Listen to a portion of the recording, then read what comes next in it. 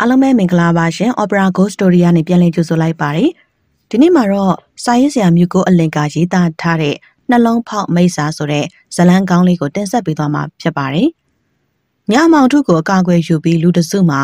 အင်ကြီးတိန်ကိုမမိတ်မတုံစိုက်ကြည့်လျက်ရှိနေကြတယ်စွတ်စွတ်ပေါင်း9ယောက်ပင်ဖြစ်ပါတယ်ထို9ယောက်မှာညမောင်စာကလေးကအင်ကြီးနောက်ဖက်ခြုံပုံများပေါ်မှာနေရယူပြီးမှတ်ချင်းများကြိုက်ခဲမှုကိုကြံ့ကြံ့ခံကာမလုံရှားပဲငြိမ့်သက်နေကြတယ် ကိုစီမာဓားလန်လက်နက်များပါတယ်လို့ခေါင်းဆောင်ဖြစ်သူမှလှုပ်တဲ့တက်လက်ပင်ပါသေးတယ်။ထို့အဖွဲ့မှာဒီနေ့တဝိုက်မှာအတန်ကြားယုံများနဲ့လူတိုင်းကြောက်ရွံ့ကြတဲ့ဓမြဘူမိုးမောင်ဥဆောင်တဲ့ဓမြအဖွဲ့ပင်ဖြစ်တယ်။ခေတ်ကာလကလည်းမြန်မာပြည်ကြီးကိုနေချက်ပြည်တိရှာတွေအုပ်စိုးစဉ်ကာလဖြစ်ကနေဆိုနေပြဥပဒေစက်ကွင်းအလံဝေးရဒေသများမှာမိုးမောင်လိုတောမီလောင်တောကြောင်လက်ကမောင်းခတ်ပြည်သူချင်းနှိပ်စက်ဖိုးကြခြင်းနဲ့လူဆိုးများလည်းရှိတတ်ကြတယ်။ မုံမောင်ကကြံဓမြတွေထက်ထူးကဲစွာနာမည်ကြီးသူလည်းဖြစ်တယ်။ဓမြတိုက်တဲ့ကပစ္စည်းဝတ်ထားတာကိုအလွယ်တကူထုတ်မပေးပါကနှိပ်စက်နေမျိုးစုံဖြစ်ပြောလာအောင်လုပ်တတ်သူဖြစ်ပြီးလိုအပ်ပါကသကောလက်တတ်တယ်။သကောလက်ရဲဆိုတာကသကောကအလဲမှာအပေါက်ဖောက်ကလဲဘေးမှာဆွတ်ပြီးလှည့်ခြင်းဖြစ်ပါတယ်။ရှေ့ဓမြတွေအသုံးပြုတဲ့ရက်ဆက်တဲ့နှိပ်စက်နေတစ်မျိုးဖြစ်ပါတယ်။တကောင်းရန်ချေရောက်တဲ့ကအင်ကြီးမှာထွန်းထားတဲ့မီးများမှိတ်သွားပြီဖြစ်ပါတယ်။မိုးမောင်ကအင်သားတွေအိပ်ပျော်တဲ့အထိနောက်ထပ်အချိန်အနည်းငယ်များစောင့်ဆိုင်ပြီး သူ့လူတွေကိုချက်ပြကအားလုံးအင်ကြီးနီးကိုတရွရွနဲ့တိုးကပ်သွားကြတယ်။သူတို့ကိုတကားဖွင့်ပေးရန်အင်ကြီးမှာထမင်းချက်မိမကိုစီးယုံထားပြီးဖြစ်ပါတယ်။ဘသူတွေလက်ဟဲ့ဟင်ဓမြပြိုးဓမြအမောင်တွင်းမလုံမရှားတက်လာတဲ့မိုးမောင်တို့လူစုပေါ်ကိုအိမ်ပေါ်မှမီးရောင်လင်းနေဖြာချလာသလိုခက်ဆက်ဆက်အောငေါမင်းမြန်းတန်တဲ့အတူအော်တန်များနဲ့တဆက်သေးတနက်တန်များပါကြားလိုက်ရတယ်။အပွဲပွဲနှွဲလာတဲ့မိုးမောင်တယောက်ယခုတော့လူပါပလင်းထိချေပြီး သူစည်းရုံးထားတဲ့ထမင်းချက်မိမတက်စာဖောက်မှုနဲ့အတူသူတို့ကိုကြိုးဆောင်နေသူတွေထောင်းချောင်းတွင်တက်ဆင်းကြကုန်တယ်။ဓမြဓမြပြိုးမလွတ်စင်နဲ့လိုက်ကြဒီကောင်တွေတောင်းကျနေရကြပြီမလွတ်စင်နဲ့မိရအသေးတက်ပြရမယ်။မိုးမောင်တို့လူစုကအမောင်တွင်အသက်လိုပြီးခြေဦးတက်ရဇွတ်ရွပြေးရတယ်။မိုးမောင်လေးတယောက်တည်းအမောင်နဲ့ခြေဦးတက်ရပြေးလာရင်သူ့နောက်ပါမှာတန်ချောင်းခောက်တက်လက်တဲ့ဒေါသတကြီးကျင်းဝါတန်တွေကိုကြောချမ်းဝင်ကြလိုက်ရတယ်။လူစုတများဆိုပေမဲ့သူ့လက်ကြတော့ကြောက်နေမိတယ်။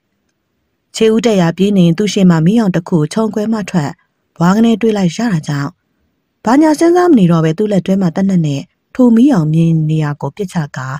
အမောင်တွင်းပြေးဝင်ပြောက်ွယ်သွားတယ်။ရင်းနှစီမီးဖြစ်ထုံးကြီးရတဲ့ငါးရှာဖားရှာငှက်သမားတွေကိုင်းလေးရှိတဲ့အုပ်ဆောင်ကိုင်ရင်ငါးရှာရမမီးအုပ်ဆောင်လေးအလင်းဖြေရွာကိုပြန်လာတဲ့အသက်16နှစ်အရွယ်မြသာရှိတဲ့လူငယ်လေးကရုတ်တရက်ကျဲလောင်တဲ့တနက်တန်တစ်ချက်ကြားလိုက်ရပြီး သူ့ရပတ်အတွင်းစုကနေမီးစာနဲ့ထိုးသလိုနာကျန်သွားပြီးနေရာမှာပင်ခွေလဲကျသွားတယ်။သူလွယ်လာတဲ့ငါးပလိုင်းလေးကဘေးကိုလိမ့်ကျသွားလျက်အတွဲမှာငါးတွေအပြင်ကိုထွက်ကျလာပါတယ်။ဓမြပူမိုးမောင်မစင်မချင်လောက်ရကြောင်အပြစ်မရှိတဲ့လူငယ်တစ်ယောက်ရဲ့အသက်ကအချိန်မတိုင်ပဲကျွေးလွန်သွားခဲ့ရပြီဖြစ်တယ်။ကျွန်ုပ်ကအင်းစိန် CID ဝင်းအတွင်ကျွန်ုပ်ရဲ့ Austin ကားစုပ်ကလေးကိုထိုးရရင်ကားပေါ်မှာစိမ့်ယုံရှိသေးတယ်။ရုံးပြတာလေးလှမောင်ကကျွန်ုပ်ရှိတာကိုခတ်သက်သက်အပြေးတစ်ပိုင်းရောက်လာပြီး ဆရာမင်းကောင်ရောက်လာတဲ့တော့ပဲဆရာတို့စုံတောက်တွေကိုပလိမင်းကြီးကသူ့ရုံးခန်းထဲလာဖို့ကျွန်တော်ခေါ်ခိုင်းလိုက်တယ်။လှမောင်ကကျွန်ုပ်ကိုပလိမင်းကြီးခေါ်ကြောင်းပြောပြရတယ်ကျွန်တော်နီးမှထွက်ခွာသွားတယ်။တခြားသူများကိုလိုက်ခေါ်ရန်အတွက်ပင်ဖြစ်ပါတယ်။ထို့အတွက်ကျွန်ုပ်ကကျွန်ုပ်ရုံးခန်းတွေ့မဝင်တော့ပဲပလိမင်းကြီးခန်းကိုတကားလေးတန်းသွားလိုက်တယ်။ကျွန်ုပ်ပလိမင်းကြီးစင်ကလေးရရုံးခန်းတွင်ရောက်တဲ့အခါကျွန်ုပ်နီးတူတခြားသောစုံတောက်ကြီးတွေလည်းရောက်နေနေကြပြီဖြစ်တယ်။လူကလေးတို့အခုပဲကျွန်ုပ်စီပဇွန်အောင်ကက်ကဖုန်းလာတယ်။သူ့အပိုင်နေတဲမှာ ညကလူတက်မှုဖြစ်သွားလို့တဲ့အဲ့ဒါလူကလေးတို့အခုပဲအဲ့ဒီကိုသွားဖို့ပြင်ဆင်ကြပါကျွန်တော်တရက်ခန့်ကိုအမြန်ဆုံးမိလို့တယ်ကျွန်တော်တို့ကစုံတော်မင်းကြီးစကားစုံတာနဲ့ချက်ချင်းပင်ပစုံတောင်မှလူတက်မှုအခင်းဖြစ်ပွားရအောင်သွားဖို့ပြင်ဆင်လိုက်ကြတယ်ရုံးမစုံတောင်များအတွက်စီမံပေးထားတဲ့ကားမရောက်မီမှာပင်ကျွန်တော်ကပတ်ဝန်းကျင်ကိုမေးဆန်ပြီးလူတက်မှုအခင်းဖြစ်ပွားရာနေရာကိုရောက်ရှိလာပါတယ်လူတက်မှုဖြစ်ရာအိမ်မှာမြင်ယုံမျှဖြစ်ချမ်းသာကြွယ်ဝကြောင်းသိတာလာတယ်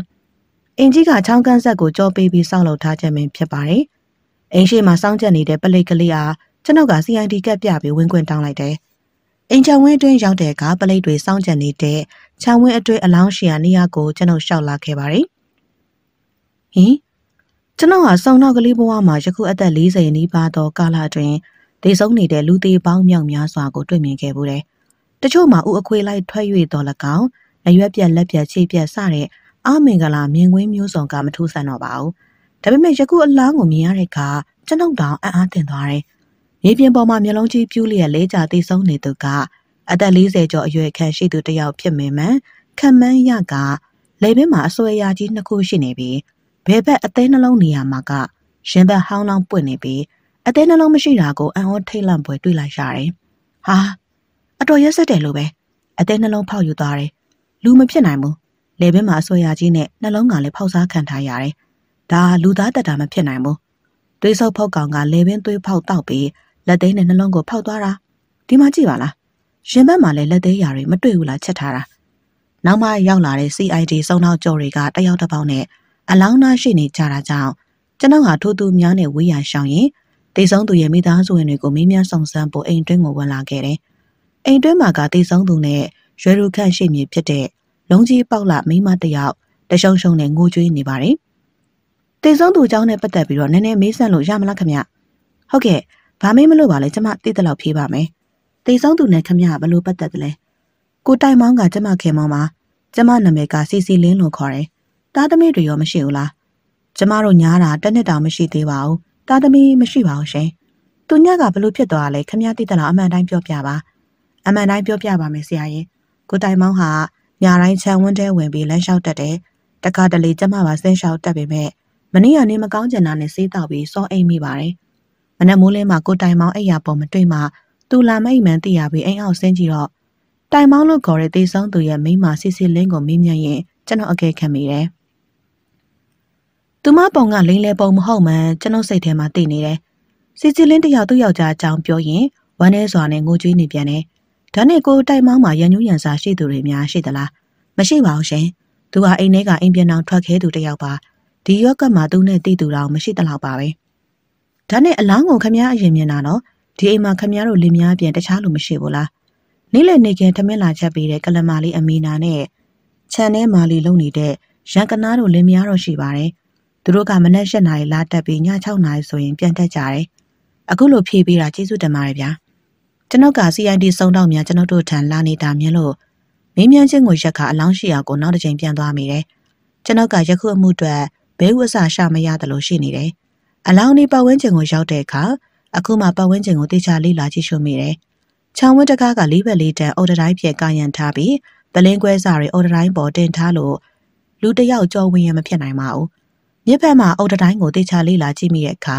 တနေရာမှာအုတ်တိုင်းအောက်ခြေမြေကြီးပေါ်မှာ ကျင်းနဲ့ကြီးတစ်ခုဖြစ်နေတာကိုတွေ့လိုက်တယ်။တရားခံကယခုပေါက်မှာအတွင်းကိုဝင်တာကတေချာသလောက်ပဲ။မြကန်းဘေးကိုလေးလာကြည့်ရန်စဉ်းစားမိပေမဲ့မြည်ရည်တက်နေကတောင်းပြတဲ့ရှောက်မြည်ရည်ဖုံးလွှမ်းနေလို့တဲလွန်စာမကြံနိုင်တော့ပါဘူး။ကျွန်ုပ်ကလွဲကူရိုးရှင်းတဲ့အမှုများကိုသာကြုံမှုလိုက်ဖို့တယ်။ယခုလိုရှုပ်ထွေးတဲ့အမှုမျိုးတစ်ခါမှမကြုံမှုကြောင်းကျွန်တော်ဝန်ခံပါတယ်။ကျွန်တော်ဘာဆက်လုပ်ရမလဲမစင်းစားနိုင်အောင်ရှိနေတယ်။အနီးပါးပတ်ဝန်းကျင်ဆက်လက်စုံစမ်းလိုတာကြောင့်လူသက်မှုဖြစ်ရာချောင်းဝန်းတွက်မှထွက်လာခဲ့တယ်။ အနီးပါးဝန်းကျင်စုံစမ်းရန်လူသက်မှုဖြစ်ရာအိမ်ဘေးပတ်ဝန်းကျင်ကတစ်ဖက်မှာခြုံနှွေများဖြင့်တောထာနေလျက်တစ်ဖက်မှာတော့ကိုရောင်ကြီးတစ်ခုသာရှိတယ်။အတန်ငယ်မြဆက်ရှောက်မိတဲ့အခါကလားလူမျိုးတွေရောင်းချတဲ့ကကဆိုင်တစ်ဆိုင်ကိုတွေ့ရတည်င်းယူလိုဓာတ်ကတကြောင်ဘိုက်စာနေတာကတကြောင်ကြောင့်လက်ဖက်ရည်တစ်ခွက်မှရင်တစိမ့်စိမ့်တောက်ကစီဂရက်ဘူးထဲမှာတက်လိတ်ထုတ်ပြီးအမှုကြောင့်စဉ်းစားနေစဉ်ဘေးဝိုင်းမှာစကားတန်တွေကြောင့်စိတ်ဝင်တစားနားဆွနေမိတယ်။ဟိုတိုက်ရင်ကလူအသက်ခံရတဲ့ကြားတယ်။ တရေတက်သွားထင်တယ်။လေဘင်းမှာအဆွဲရကြီးနဲ့ပြီးတော့အသေးဖောက်စားတာလားနှုတ်ယူသွားတာလားအသေးမရှိတော့ဘူး။လူဆိုရင်လေဘင်းကိုဘလို့လို့သွေးဆုံမှလဲတရေဖြစ်လို့ပေါ့ဗျာ။အသေးပါနှုတ်ယူသွားတာ။ကြောချမ်းစရာကောင်းနေဗျာ။ဓာတ်ရှင်တွေကသွေးဆုပ်ကောင်းနေလို့အပြင်မှာသွေးဆုပ်ကောင်းနေရှိနေပြီလားမသိဘူး။ပဇွန်နောင်ကက်ကပလိတ်တွေရောအင်းစိန် CIT ကစုံတောက်တွေရောခြေချင်းလိန်နေကြလေရဲ့ဘလောက်ပဲတော်တဲ့စုံတော့ပဲဖြစ်ဖြစ်သွေးဆုပ်ဖုတ်ကောင်တော့မဖမ်းနိုင်ပါဘူးဗျာ တကယ်လို့ဒါလူတမ်းမှုဆိုရင်လည်းဖော်နိုင်သူတယောက်ပဲရှိလိမ့်မယ်ဘသူများလဲဗျအင်းစိန် CID ကစုံတော့တွေလားနေစမ်းမအောင်ဗျာ CID ကစုံတော့တွေကစားတွေ့သမားတွေဗျတကယ်လက်တွေ့ကြကြလိုက်နိုင်တဲ့သူဆိုလို့ယာဝနာတယောက်ပဲရှိလိမ့်မယ်။ तू ကဘာမို့လို့လဲဗျ။ तू ကလားအပေါင်းအသင်းဆောင်တယ်။တည်င်းဆောင်တယ်။တချို့ကပလိမန်းသိရင်အလောက်ရှုံမှဆိုလို့မြင်ရင်တော့မမြင်ဘူးကြားရင်တော့မကြားဘူးသိနေရင်တော့မသိဘူးပြောတတ်ကြတယ်။ "तू ကလွဲပြီးဘသူမှဒီအမှုလိုက်လို့မပေါ်စေရအောင်ဗျာ။ ရှူတူတူဟိုမှာလူနှစ်ယောက်ကစကားပြန်လည်ပြောနေကြရင်ကျွန်ုပ်ကိုပလိတ်အဝတ်စားယူနီဖောင်းဖြင့်ယခုမှသတိထားမိဟန်ဖြင့်တယောက်မှလက်တို့ပြီးလေးတန်တူတူဖြင့်ကျွန်ုပ်ကိုညွှန်ပြလို့စကားတန်တွေတိတ်သွားကြတယ်။ကျွန်ုပ်လည်းလက်ဖက်ရည်ဖို့ရှက်မိဆိုင်မှာထွက်ခဲ့ပြီးတော့ကားရက်ထားတဲ့နေရာစီကိုတွားပြီးအင်းစိန် CID ရုံးကိုမောင်းနှင်ခဲ့တယ်။ကျွန်တော်တို့ကထိုအမှုတရက်ခံမဖော်နိုင်မိမှာပဲရန်ကုန်တစ်ဖက်ကမ်းမှာတက်ငါစုယခုဒလပတ်ချမ်းမှာအလားတူလူတက်မှုတစ်ခုပေါ်လာပြန်တယ်။ ထိုမှုနဲ့အတူရောင်ဝနဆိုသူအားကျွန်တော်တွားရောက်တွေးဆုံခြင်းအားနောက်တစ်ပိုင်းမှာဆက်လက်ဖော်ပြပါမယ်။ကျွန်တော်တို့စုံတော့တတိုက်မှာလူသက်တရက်ခံကိုမဖော်ထုတ်နိုင်မရှိနေကြတယ်။ထို့အတွက်ပလိမင်းကြီးစင်ကလေးရရဲ့နေ့စဉ်စုပူကျိမ်းမောင်းခြင်းကိုလည်းခံနေရတယ်။တုံးလေးရက်မြလူသက်မှုချင်းတွေအတွက်လူသက်တရက်ခံကိုရှောက်ဖွေးရမှာလဲထူးခြားမှုမရှိပါဘူး။အသက်ခံရသူကယခုအိမ်ကိုလွန်ခဲ့တဲ့၃နှစ်ခန့်ကမှဝယ်ယူခဲ့ခြင်းဖြစ်က သူ့နောက်ကျောင်းတမိုင်းကိုပင်ကျွန်ုပ်တို့စုံစမ်းမရအောင်ရှိနေတယ်။ကျွန်ုပ်တယောက်တည်းဖြစ်နိုင်ခြေထင်တဲ့ကွင်းဆက်တွေကိုလိုက်လံစုံစမ်းပြီးတော့ရုံးကိုပြန်လာစဉ်ရုံးပြတာကလေးမောင်လာမှကျွန်ုပ်ကားပေါ်မှာမစဲမီအပြေးလွှားရောက်လာပြီးဆရာမင်းခေါင်ကြီးဆရာကျော်အောင်တို့ကတော့လူသက်တရက်ခံကိုဖမ်းလာခဲ့ပြီးပြီးအခုစမေးနေကြလေရဲ့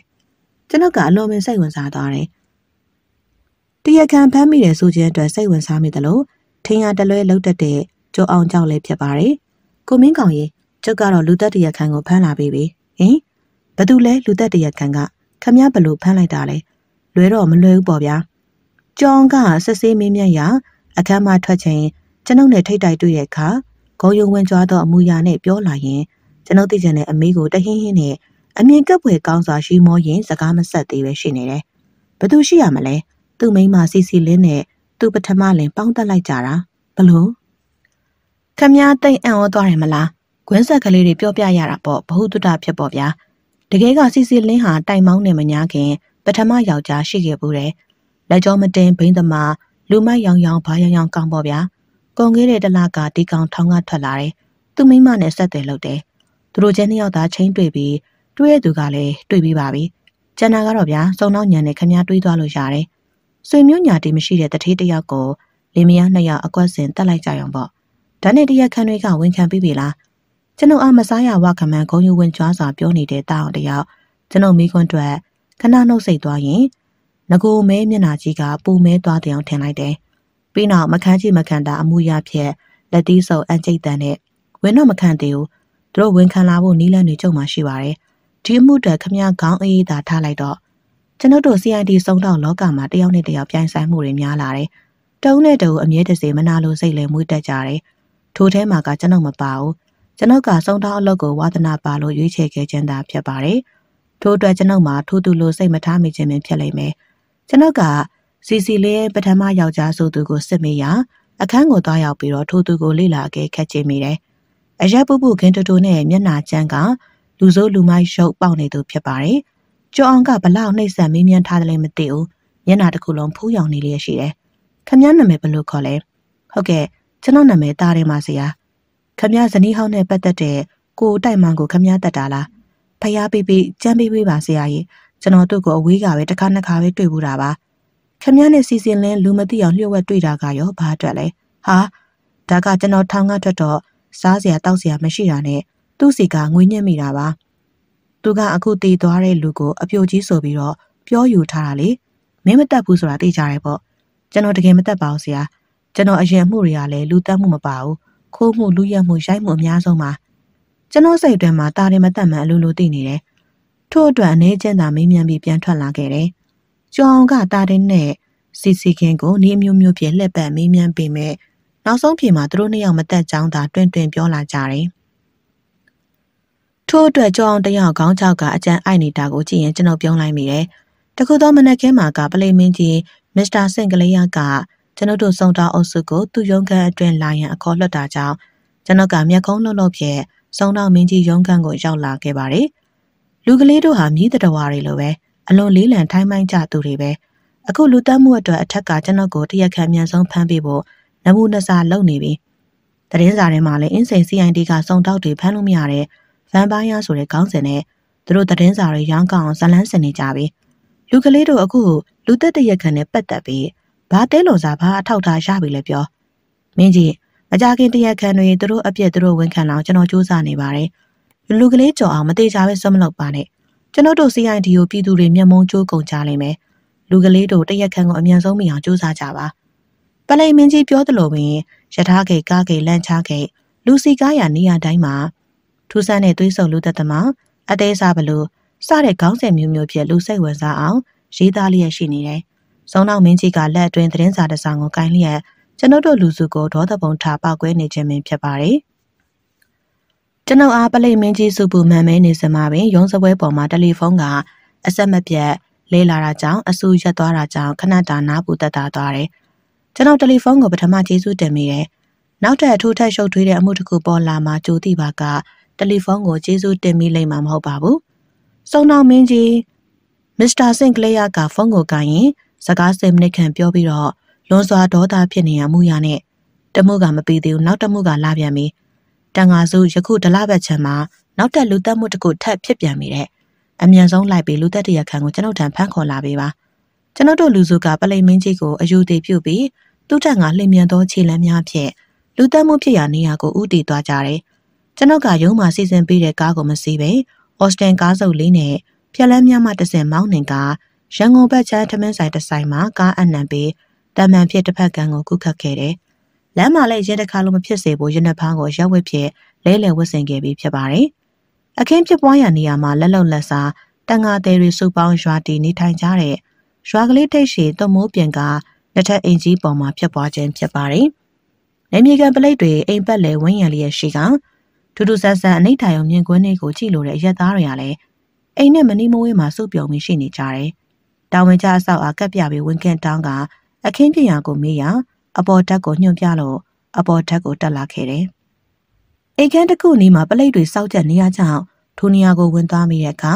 လူတစ်ယောက်ကျမ်းပြင်ပေါ်ပလက်လန်ပြီးသွေးတွေမြင်မကောင်းထွက်ကလဲကျတိတ်ဆုံးနေတာကိုတွေ့လိုက်ရတယ်။အသက်40ကျော်စာအရွယ်ဗလကောင်းကောင်းကိုလုံးကိုတဲ့တောင်တင်းကြန့်ခိုင်သူတစ်ယောက်လည်းဖြစ်ပါတယ်။ဟင်ဒဏ်ရာကိုဆက်ဆဲကြည့်တဲ့အခါကျွန်တော်အံ့အားသင့်ကပါဇက်အဟောင်းသားဖြစ်သွားမိတယ်။အကြောင်းက ထိုဒဏ်ရာတွေကပစုံတောင်လူတက်မှုမှာကြုံရတဲ့ဒဏ်ရာများနဲ့တထရာတဲ့တူညီနေတာကြောင့်ပဲဖြစ်ပါတယ်။လေဘဲမှာကြီးမားတဲ့အစွဲရာကြီးကြောင့်အပေါက်နှစ်ခုဖြစ်နေပြီးဘဲဘက်ရင်ဘက်နေရာမှာကဟောင်းလောင်းပေါက်ကအသိနှလုံးကမရှိတော့တာကိုတွေ့ရတယ်။လက်မပကုတ်ရင်ဘက်များမှာကုတ်ချစ်ရာတွေရှိနေတယ်။အခန်းတစ်ခုလုံးကရုံရင်ဆန်ကလှုပ်ရှားမှုကြောင့်ပစ္စည်းတွေပြန့်ကျဲလျက်ရှိနေတာကြောင့်တေသူကသူ့ရန်သူကိုနောက်ဆုံးချိန်ထိတိုက်ခိုက်သွားဟန်ရှိပါတယ်။ဒလောက်ဗလာတောင်းတဲ့နဲ့ ရန်သူကိုတိုက်ခိုက်အနိုင်ယူမဲ့သူကအတော်ပဲကြောက်စရာကောင်းလွန်းသူဖြစ်လိမ့်မယ်လို့ကျွန်ုပ်မှတ်ချက်ချမိတယ်။တီတုကူပေါ်မှာကြမ်းပြမောကျနေတဲ့သွေးများပေါ်မှာခွေးချီရလို့မှတ်ယူရမှာဖြစ်တဲ့ခြေရာတွေကိုတွေ့ရတယ်။အတက်မပြောနိုင်ခြင်းကခြေရာများကကြားခြေရာနီးပါးခန့်ရှိနေတာကြောင့်ပင်ဖြစ်တယ်။ခွေးဆိုတာကလည်းအတော်ကြီးမဲ့ခွေးသားဖြစ်လိမ့်မယ်။ဒါပေမဲ့လည်းထုံများလောက်ကြီးတဲ့ခွေးကိုကကျွန်တော်တက်တက်မြင်ဘူးသေးခြင်းမရှိပါဘူး။ကျွန်တော်ကပတ်ဝန်းကျင်နေသားကိုတဖန်ထပ်မံလိလာပြန်ရာ ယခုအခင်းဖြစ်ပွားရာအိမ်မှာလူနေအိမ်ကြီးများနဲ့အနှင်းငယ်ဝေးပြီးကွင်းပြင်ကြီးများသာဘေးပတ်ဝန်းကျင်မှာရှိနေတယ်။ကျွန်တော်အခင်းဖြစ်ပွားရာနေရာတည်ဆောင်သူရဲ့ပုံစံအခန်းအတွင်းပစ္စည်းတွေ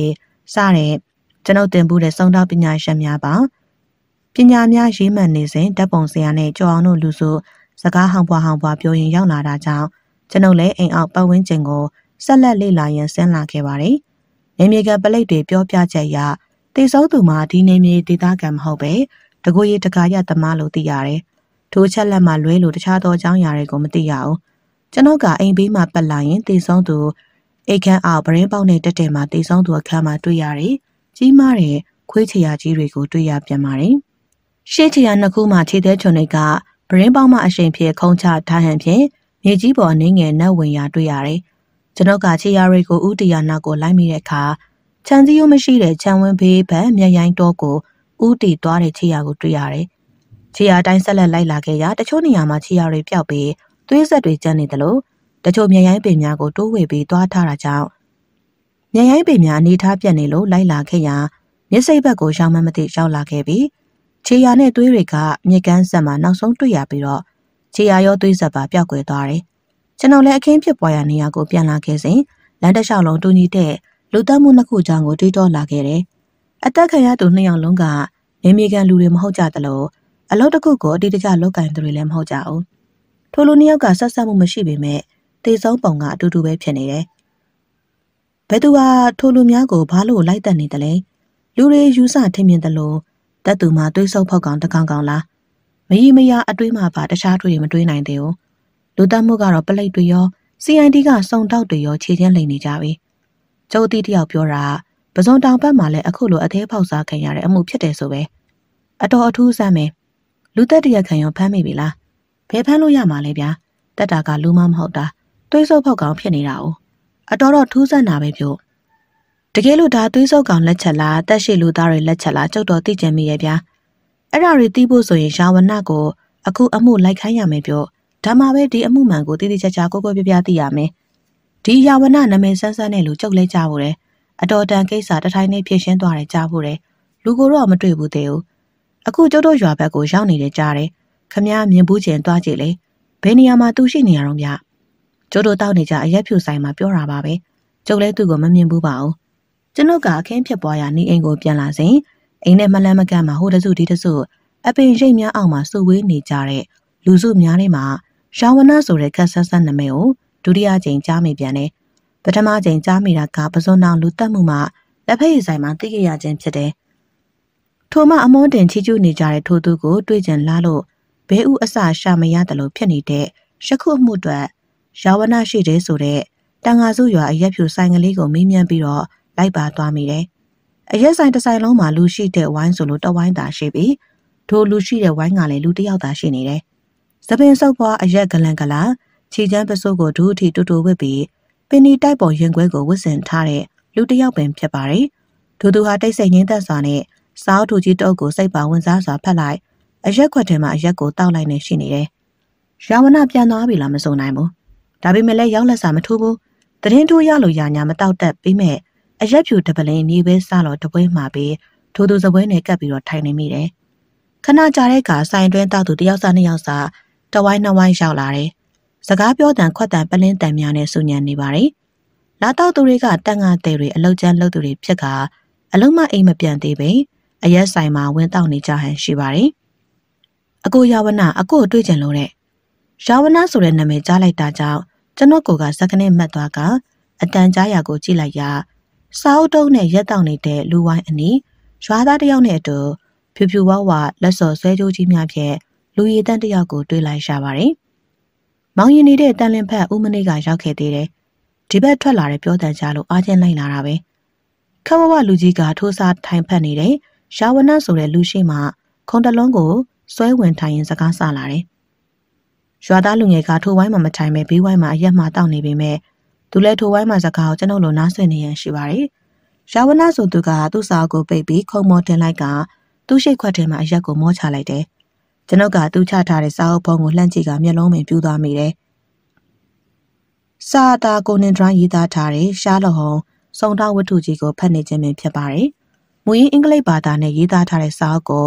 အခုလိုအရက်ဆိုင်မှာလူတစ်ယောက်ဖတ်နိုင်တာကအံ့ဩစရာပဲ။ဘာအတွက်ကျွန်တော်တွေ့ချင်ရလဲခင်ဗျ။ဦးအတွက်အရေးကြီးနေပြီမောင်ဝနရဲ့ကူညီပါအောင်ထိုလူကြီးကပြောလဲပြောလက်ဆွဲရည်တွင်မှာအင်္ဂလိပ်ငွေဆက်ကိုထပ်လိုက်ကြီးကိုသူတို့နှစ်ယောက်ကြားခုံပေါ်ကိုချလိုက်တယ်။ ဦးကိစ္စကိုပြောပါကျွန်တော်ဘာပြောချင်တာလဲ။ဦးသမီးဒီနေ့မနေ့ကြောင်းသွားတာအိမ်ငါပျောက်သွားလို့အဲ့ဒါကူညီပေးပြီးတော့ရှာပေးနိုင်မလားမောင်ရင်။ဦးသမီးကဘယ်ရွယ်လဲဘလို့ပျောက်သွားလဲ။စကန်းသွားမတိုင်ဘူးလားလူပျောက်တိုင်ပေါ့။ဦးသမီးက၁၈နှစ်ကျော်ပါပြီ။အထက်တန်းအင်္ဂလိပ်ကျောင်းတစ်ကျောင်းမှာတက်ပါတယ်။စကန်းမသွားကျင်တာကရှုပ်ရှုပ်ရှက်ရှက်ဖြစ်လာမှဆိုလို့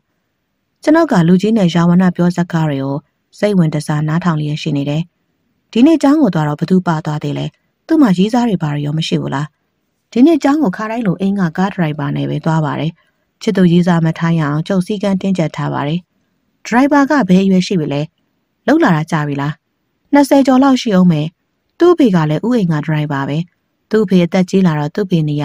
ဝင်ယူမောင်းနေတာ။ဖြစ်နိုင်ရင်နေမကူးခင်ဥသမီးကိုပြန်တွေ့ကြတယ်မောင်ရင်။ရာဝဏကလူကြီးကိုမေးမြန်းနေတာကအပိုလိုမရှိစကားပြောရင်တခုခုစဉ်းစားနေရရှိပါတယ် ကျွန်တော်လည်းသူ့လိုတွေးကြည့်နေမိတယ်အဖြေကမရအောင်ကျွန်တော်ရှာမပေးနိုင်ဘူးသိရင်တော့မပြောနိုင်ဘူးဟင်ဘာလို့လဲပတ်စံနေလို့လာရင်ထပ်ပေးပါမယ်ဘလောက်ပေးပေးမလုပ်နိုင်တာဗျာဥပြန်มาတော့မင်းမင်းငါကြောင်မသိဘူးထင်တယ်ဟဲ့ကောင်လေရာဝဏကသူ့အားပတ်စံအထက်လိုက်ကြီးပေးတာကိုပဲမယူပဲညှင်းလို့နေတာကိုကျွန်တော်ပင်အံ့ဩနေတယ်သူကပိတ်ထားတဲ့စာကိုပြန်ဖွင့်ပြီးပတ်ဝန်းကျင်ကိုဂယုမဆိုင်ဟန်နဲ့ဖတ်နေတယ်။လူကြီးကဒေါသထွက်ပြီးအသားတဆက်ဆက်တုံကအပြင်ကိုလှမ်းခေါ်လိုက်ရာ ဗလာတောင်တောင်လူမရုပ်ပေါက်နေသူနှစ်ဦးဆိုင်တွင်းကိုဝင်လာတယ်။ဒီအချိုးမပြေတဲ့ကောင်ပညာပေးလိုက်ကြစမ်းကွာ။လူကြီးစကားတန်ဆောင်ထိုးလို့နှစ်ယောက်ကရှာဝနာကိုထိုးနှက်ရန်အနီးကပ်လာကြတယ်။ကျွန်ုပ်ပင်သူ့အတွက်စိုးရိမ်သွားတယ်။သူကတောက်တော့မှမလုပ်ဘူး။စာအုပ်ဖတ်မပြတ်ဘူး။ဒါပေမဲ့လည်းတကယ်ထိုးခံရသူကယာဝနာမဟုတ်ဘူး။လူကြီးရဲ့တပည့်နှစ်ယောက်ပင်ဖြစ်ပါတယ်။ကျွန်ုပ်လိုပဲဘီးဝိုင်းမှာနားဆွနေကြတဲ့သူတွေကရှာဝနာအနေထိုးသူမရောက်မီမှာပင် အားလုံးဝိုင်းမထားပြီးထိုးလူတွေကိုရိုက်နှက်လိုက်ကြခြင်းပင်ဖြစ်တယ်။လူကြီးနဲ့သူ့လူတွေကခြေနေမဟန်လို့ဆိုင်တွဲမှာတုတ်ချေတင်ပြေးကြတော့တယ်။ဆရာကြီးကျွတ်တို့ကိုလည်းပြောပါအောင်ဗျ။ဒီလောက်ပတ်စံတွေအများကြီးပေးရတာဒီလူကြီးကိုညှင်းလို့ရရလေ။အားလုံးပြီးသွားတဲ့အခါတဆိုင်လုံးမှာအရက်သမားတွေကယာဝနာအနီးခုံမှာဝိုင်းဝန်းပြီးတော့မင်းမြန်းလိုက်ကြခြင်းပင်ဖြစ်ပါတယ်။ကျွန်တော်လည်းထိုးဖြေကိုသိကြံလာပြီ။ "तू မသိလို့ညင်သလားသိရက်နဲ့မပြောချင်တာများလား။ယာဝနာက အရက်စားအုပ်ပိတ်ရင်အရက်တစ်ခွက်ကိုကွက်ကနေမောချလိုက်ပါတယ်။လွယ်ပါတယ်။ဒီကောင်မလေးဟာဒီလိုအဖေမျိုးအောင်မှာရီးစားထားခွင့်မရဘူးဆိုတော့လူငယ်တဘာဝအနည်းဆက်ဆုံးကားဒရိုက်ဘာနဲ့ကြိုက်မယ်။သူတို့အကြောင်းကိုဒီလူကြီးမရိပ်မိခင်ကြောက်လို့ထွက်ပြေးကြမယ်။ရဲမတိုင်တာကလည်းအကောင့်မထင်နဲ့ဗျ။တွေ့ရင်ဒီကောင်လေးကိုတခါတည်းတက်ပြစ်ဖို့များလို့တမင်မတိုင်တာ။လူကဘလောက်ပဲဟန်ဆောင်ကောင်းပါစေ။သူစပြီးကျွန်တော်ဝိုင်းမှာထိုင်ကြတဲ့ကသူ့လက်တစ်ဆက်ဆက်တုံနေရတွေ့တယ်။ ဒါဒေါသတစ်ခုခုဖြစ်နေတဲ့အခြေအနေမှကြုတ်တန်းသိလိုက်တယ်။ကဲကျုပ်ဒီကိစ္စကိုလိုက်တယ်လား။ရော့ရော့ကျုပ်ကိုကူညီပြီးဟိုကောင်တွေကိုဝိုင်းချပေးတာကျေးဇူးတင်တော့။ရာဝနာလို့နာမည်ကြီးတာကြီးလောက်ပါတယ်။ကျုပ်တို့ဆိုတာကအတော်ခေါင်းစားရမှာဖြစ်တဲ့ကိစ္စကိုသူကတထိုင်နဲ့အတွေးနဲ့ရှင်းသွားတယ်။လူကြီးကြမ်းရင်နေတဲ့ပတ်စံတွေကိုလည်းအရက်သမားတွေကိုဝေးပေးလိုက်တယ်။အရက်သမားတွေကဝမ်းသာအရာလက်ခောက်မော့လက်ခုပ်တီးရင်ရာဝနာကိုချီးကျူးဂုဏ်ပြုကြပါတယ်။ဟိုဘက်ကမိတ်ဆွေကျုပ်စီကိုလာတာမလား ဒီဘက်ဝိုင်းကိုကြွပေးပါ။ဟင်ကျွန်တော်သူ့အကြောင်းတွေးနေစဉ်သူဖိတ်ခေါ်တန်ကြားလိုက်ရှာလို့သူရှိရာခုံကိုပလင်းအမီးပကံတွေကိုရွှေ့ပြီးတော့သွားလိုက်ပါတယ်။ကျွန်တော်နာမည်ရာဝနာပါ။ရာဝနာတကူးဆွမ်းများဖြစ်တက်လို့မသေးတဲ့သူဖြစ်မြမဘဝမှာဆူတောင်းပြီးလူပြည်မှာဘလူးလာပြတဲ့ဒတဂီတွေနောက်နာမည်တစ်ခုကရာဝနာကျွန်တော်ရာဝနာပါအိုင်ပီမင်းကောင်ပါဟင်ကျုပ်ကိုသိတယ် ကျုပ်ရင်ကဆိုအံ့ဩမိပေမဲ့အခုရာဝနာအစွမ်းကိုလက်တွေ့မြင်ရလို့မအံ့ဩတော့ပါဘူးကျွန်တော်မင်းကောင်ပါတွေ့ရတော့ဝမ်းသာပါတယ်ကိုရာဝနာကျွန်တော်နဲ့ရာဝနာလက်ဆွဲနှုတ်ဆက်ရင်နှစ်ယောက်သာဘာရမဟုတ်ပြုံးလိုက်မိကြတယ်ဒါနဲ့ကျွန်တော်မင်းကောင်မှန်ကျွန်တော်ခမားစီကိုလာမှန်ဘလို့သိရလဲရှာဝနာရဲ့တစ်ချက်လောက်ပြောပြပေးစမ်းပါအောင်ရင်းနေနေကိုမင်းကောင်လိုပဲခေါ်မယ်ဗျာကျွန်တော်ရှင်းပြမယ်ခေါ်ပါဗျာရပါတယ်စကားဆက်ပါအောင်ဒီလိုဗျာဒီဇိုင်နဲ့ကိုကိုမင်းကောင်ဝင်လာကြတဲ့ကကျုပ်ကခဲခံနေရ ပထမအချက်ခမဝတ်စားထားတာကဒီဇိုင်နဲ့လုံးဝမကိုက်ဘူးဒီဇိုင်မျိုးဆိုတာခြေခံလူတန်းစာအလုတ်သမားတွေသာအလားများနေနေရဒုတိယချက်ကပိုးသေးကြတယ်ခမကရက်မတောက်တက်ပဲမှားထားတယ်ပြီးတော့တယောက်ယောက်တစ်ခုခုကိုလာဆောင်စမ်းနေတာလို့ကျုပ်ကောက်ချက်ချတယ်ကျုပ်နာမည်ကိုကြားတော့ခမည်းကောင်းကကျုပ်ပတ်လှည့်ပြီးစိတ်ဝင်တစားရှိနေတယ်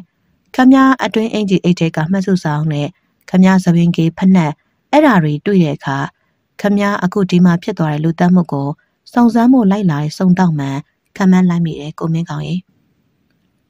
တဲ့ပြောနိုင်တာကတော့ဟိုလူကြီးနဲ့စကားပြောနေရင်ခမည်းကိုဘယ်မှမြင်ဘူးတလဲလို့တွေးနေတာနောက်တော့မှသိရတယ်ခမည်းဖော်လိုက်တဲ့အမှုတစ်ခုနဲ့ခမည်းပုံသတင်းစာမှာပါဖို့တယ်လေအဲ့ဒါတတိရတာကဲရှင်းပြီလားကိုမင်းကောင်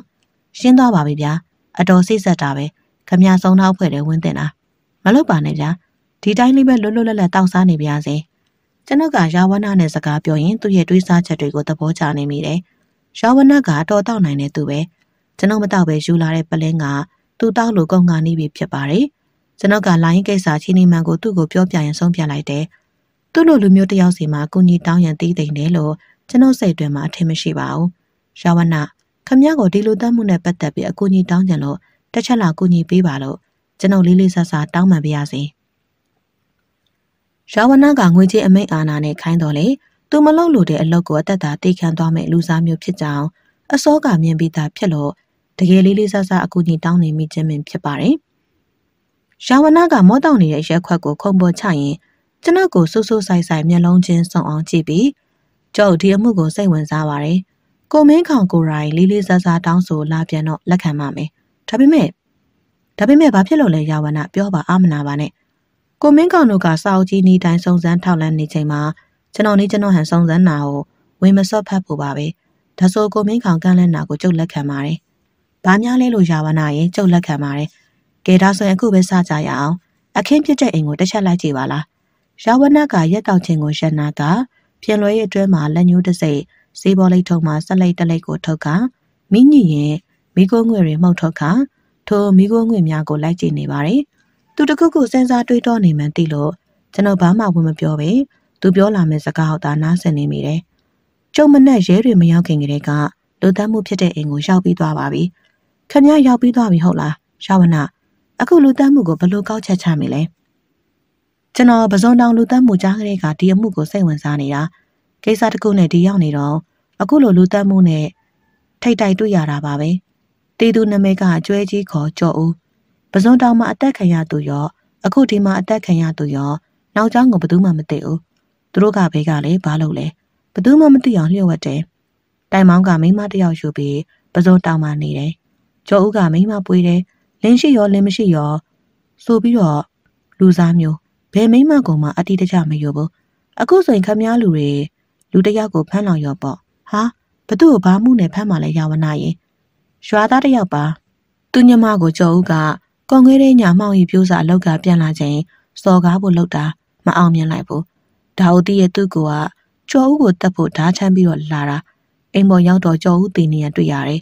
သူဓာကင်ပြီးကြော်ဦးကိုသွားတက်မယ်ပြောတာမြင်လိုက်ကြားလိုက်တဲ့သူတွေရှိတယ်အခုအဲ့ဓာတွေပလိတ်တွေစုံစမ်းတည်ပြီးသူ့ကိုဖမ်းထားရော့ပေါ့သူကတရက်ခံမဟုတ်ပါဘူး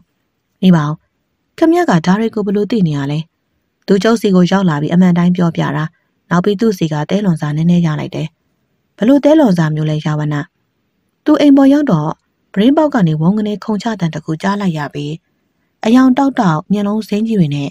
သူ့ကိုခဏစိုက်ကြည့်သွားတယ်လို့ပြောတယ်ချီယာတွေကိုခမည်းလေးတွေ့ပြီးလောက်ပါပဲကျွန်ုပ်နဲ့ယာဝနာအမှုသွားအမှုလာချီနေဆွေးနွေးနေကြခြင်းပင်ဖြစ်ပါတယ်ယာဝနာကတော်လိလာထားပြီးဖြစ်နေတယ်မိသေးသွားတဲ့ဆေးဘောလေးကိုယာဝနာကမိညိလိုက်ရင်ဖွာရှိုက်ပြီးတော့သူ့စကားကိုထက်ဆက်လာပြန်တယ်။ ဒဏ်ရာတွေကိုကြုတ်လေးလာကြည့်တဲ့အခါသွေးစာနေတဲ့တရဝါတကောင်ကောင်ရဲ့တိုက်ခိုက်မှုကိုခံထားရတာတွေ့လိုက်ရတယ်။လေဘင်းကိုကိုက်ပြီးလူကိုဆွဲလဲပြီးဘဲဘက်ရင်ဘက်ကိုကိုက်ဖောက်တာနှလုံးသားတွေ့တော့မှနှလုံးသားကိုစားပြီးပြန်တာအတော်ကြောက်ဖို့ကောင်းတဲ့တရဝါပဲဘလို့တရဝါမျိုးဖြစ်နိုင်လဲရဝနာအချိန်ကောင်းနေရာကောင်းမှသူကပေါ်လာတယ်ပြီးရင်ခြေရဖြောက်သွားတယ်ဒါကသူ့နောက်ွယ်မှာအသိဉာဏ်ရှိတဲ့လူတစ်ယောက်ပါတယ်ဆိုတာသိကြနေတယ်။ဘလို့တတဝါမျိုးဖြစ်နိုင်လဲဆိုရင် လူနဲ့အနည်းဆက်ဆုံးနေပြီးတင်ယူနိုင်တာခွေးပေါ့ဗျာ။ခွေးတော်မှတကယ်အကြီးစားအကောင်ကြီးမျိုးဒါကူမှနှလုံးဖောက်သက်ဖို့တိချလေးကြံထားတာ။ဗျာ။ရောဝနာစကားတွေကိုနားထောင်ပြီးကျွန်တော်မှဘဟုတုတာတခုနဲ့တာထွက်နိုင်တော့တယ်။ဖြစ်နိုင်စရာမရှိတဲ့အခြေအနေတစ်ခုကိုကျွန်ုပ်တို့လက်တွေ့ကြုံနေရပြီမဟုတ်လား။ရောဝနာကရက်ထက်မှပြီးထက်တော့ကဖြစ်အရက်တစ်ခွက်ကိုမော့လိုက်ဈေးဘောလိတ်ကလေးဖွာလိုက်နေရှိနေတယ်။ဘလို့အကြောင်းကြောင့်ဘသူဟာများဒီလောက်ရက်ဆက်တဲ့လူသက်မှုအတွက် ခွေးကိုလေ့ကျင့်ပေးထားရရလဲဗျာ။ဒါကတော့အတိတ်ကြောင့်တစ်ခုခုကြောင့်ဖြစ်လိမ့်မယ်ကြုတ်လည်းမသိဘူး။အခုလူသက်မှုကကြုတ်တယ်ဒီလိုမပြီးသွားတော့ဘူး။နောက်ထပ်လူသက်မှုတွေထပ်ဖြစ်လာအောင်ပါပဲကိုမင်းကောင်။ကျွတ်တို့ဘလို့လောက်ကြမလဲရဝနာ။ဘာမှလုပ်လို့မရသေးဘူး။ကိုမင်းကောင်လူသက်သမားကအချိန်တော်တော်ကြာကြိုတင်ပြင်ဆင်ထားတာ။အခုနှစ်ယောက်ကရေလန်းနဲ့နီးလို့ရေလန်းကလာတက်ပေမဲ့နောက်တခြားသူတွေကိုကြနောက်တနည်းနဲ့တက်ချင်တက်မှာသူကသူတတ်မဲ့လူတွေကို လူတွေနေရာကိုတိလို့ပြင်ဆင်ထားလောက်ပြီးဒီတော့ကျုပ်တို့လှုပ်เสียတခုပဲရှိရတယ်ဒီလူတွေရဲ့နောက်ကျောင်းသမိုင်းကိုစုံစမ်းမှသာလူသက်တရခံကိုအနည်းဆက်ဆုံးခတ်မှန်းနိုင်မယ်ဒါတော့မှကန်သေးကန်မှအတက်မပြောနိုင်ဘူးကျွန်ုပ်ကရာဝနာရှင်းပြသမျှနားထောင်ရင်ပြောသမျှနားထောင်ရုံသာဘာဆက်လို့ရမှမသိဖြစ်နေတယ်ရာဝနာကရက်တောက်ပြီးမျက်လုံးများရီဝေလျက်ဒါပေမဲ့လည်းစက်တောင်နေစေအဆအဆတော်တော်လေထိုများလောက်အရက်ကိုမနာတန်းတောက်နေတာကိုအံ့ဩမိရပြန်တယ်။ နာကြီးစရာတိတ်တခုခုသူ့မှာရှိနေတာကသိကြနေတယ်။ကျွန်တော်တို့နှစ်ယောက်ကြားပြောစရာစကားမရှိသလိုတိတ်ဆိတ်သွားကြတယ်။ညနေလဲစောင်းမိမို့တန်ငါသမားများဆိုင်အတွင်မျက်မှသူတို့ပိုက်ထောင်ခြင်းကိုနားပြီးတက်လာကြက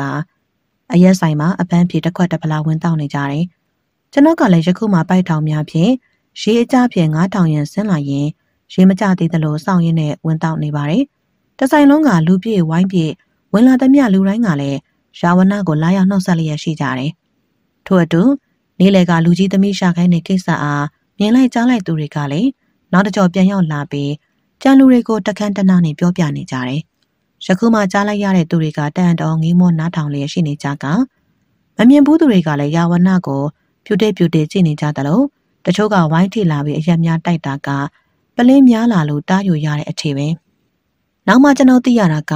ရာဝဏမှာယခုရွာတွင်ចောင်းပတက်နိုင်တဲ့တတန်ငါသားသမီးများကိုအခမဲ့တောင်းတဲ့နေပါစာတင်ပြဖို့တလို့ကျောင်းဆက်တက်ရန်လည်းပရာဟိတာဘုန်းတော်ကြီးကျောင်းတစ်ကျောင်းနဲ့ချိတ်ဆက်ပေးခဲ့ဘူးတလို့အမိုခင်းတွေဖြစ်လာပါကစင်းရဲသူများဘက်မှရက်တီပေးခဲ့ဘူးကြောင်းစုံစမ်းသိရှိခဲ့ရတယ်။ထို့စမှာပင်လူတယောက်ရောက်လာပြီးယာဝနာနာကတ်ကတီတိုတီတိုနဲ့မြည်သည့်အကြောင်းအရာတွေကိုပြောဆိုနေတယ်လည်းမသိဘူး။ယာဝနာကကောင်းတငိမ့်ငိမ့်နဲ့ရှိနေတယ်။ ထို့သူကတီတိုပြောဆိုပြီးပြန်ထွက်သွားမှသူကထိုင်ရမှမတက်ရက်လိုက်တယ်။ကျတို့ဒီနေရာမှာလမ်းခွင့်ရအောင်ကိုမင်းကောင်ဟင်ခမည်းကဘေးတော့မလို့လဲခမည်းပဲကျုပ်ကိုကိုညီမယ်ဆိုခမည်းကိုကိုညီဖို့ခရီးထွက်မှာပါခုစောစောကလာတဲ့လူကလူသက်ခံရတဲ့ကြွဲကြီးခေါ်ကျော်ဦးအကြောင်းစုံစမ်းခိုင်းထားတဲ့ကျုပ်လူအခုသူ့နောက်ကျောင်းကိုသိရဖို့သူလာခဲ့တဲ့အေယာရီမြို့ဝကျွန်းပေါ်ဒေတာဖက်ကိုတင်းနဲ့ခီးဆက်မှာတပတ်လောက်တော့ကြာမယ် ခရီးကပြန်လာရင်တော့ခမည်းစီတန်းလာခဲ့ပါမယ်ကိုမင်းကောင်ကျုပ်ကိုခွင့်ပြုပါအောင်ရာဝနာကကျုပ်ကိုနှုတ်ဆက်ပြီးသူ့ကိုတည်င်းလာပေးသူနဲ့အရက်ဆိုင်အတွင်းမှာထွက်သွားကြပြီဖြစ်ပါတယ်ကျွန်ုပ်မှသာရှေ့ဆက်ပြီးဘလို့စကန်းသွားရမလဲမသိဘူးရာဝနာပြန်လာကိုသာစောင့်ရန်ရှိပါတယ်ကျွန်ုပ်တို့စုံနှောက်ဖွဲ့မှာနေစဉ်ပလိမင်းကြီးရဲ့စူပူချင်းမောင်းခြင်းကိုခံနေရတယ်ပထမလူသက်မှုကမပေါ်သေးဘူးဒုတိယလူသက်မှုဖြစ်လာတဲ့အခါသူအားထက်မှလူသက်တရက်ခန့်အမြန်ဆုံးပေါ်စီရန်ဖိအားပေးတယ်လို့ သူကလည်းကျွန်ုပ်တို့ကိုတဆင့်ဖိအားပေးတာကမဆမ်းပါဘူးရာဝနာပြောခဲ့တယ်လို့ပဲဒုတိယလူသက်မှုအတွက်ဖမ်းလာတဲ့တရက်ခန့်ကဘလောက်ပဲစစ်မေးစေကမူသူမတက်ကြောင်ညင်းဆိုလျက်ရှိနေတယ်ကျွန်ုပ်ကထိုးသူမဟုတ်မှန်ရာဝနာပြောလို့သိထားလို့တခြားသူတွေကိုပြောပြီးတော့ပြန်လွတ်ပေးရင်ပြောပေမဲ့ကျွန်ုပ်ပြောကိုဘယ်သူမှလက်မခံပဲဖြက်လို့ဖြက်စီလာလို့တယ်အထင်ခံရတာကြောင့်ငြင်းနေလိုက်ရပါတော့တယ်ကျွန်ုပ်ကရုံးစင်းချိန်ရောက်မှမြင်းဆောင်မှလွတ်တယ်မြင်းမြလို့စိတ်လက်များပေါ့ပါက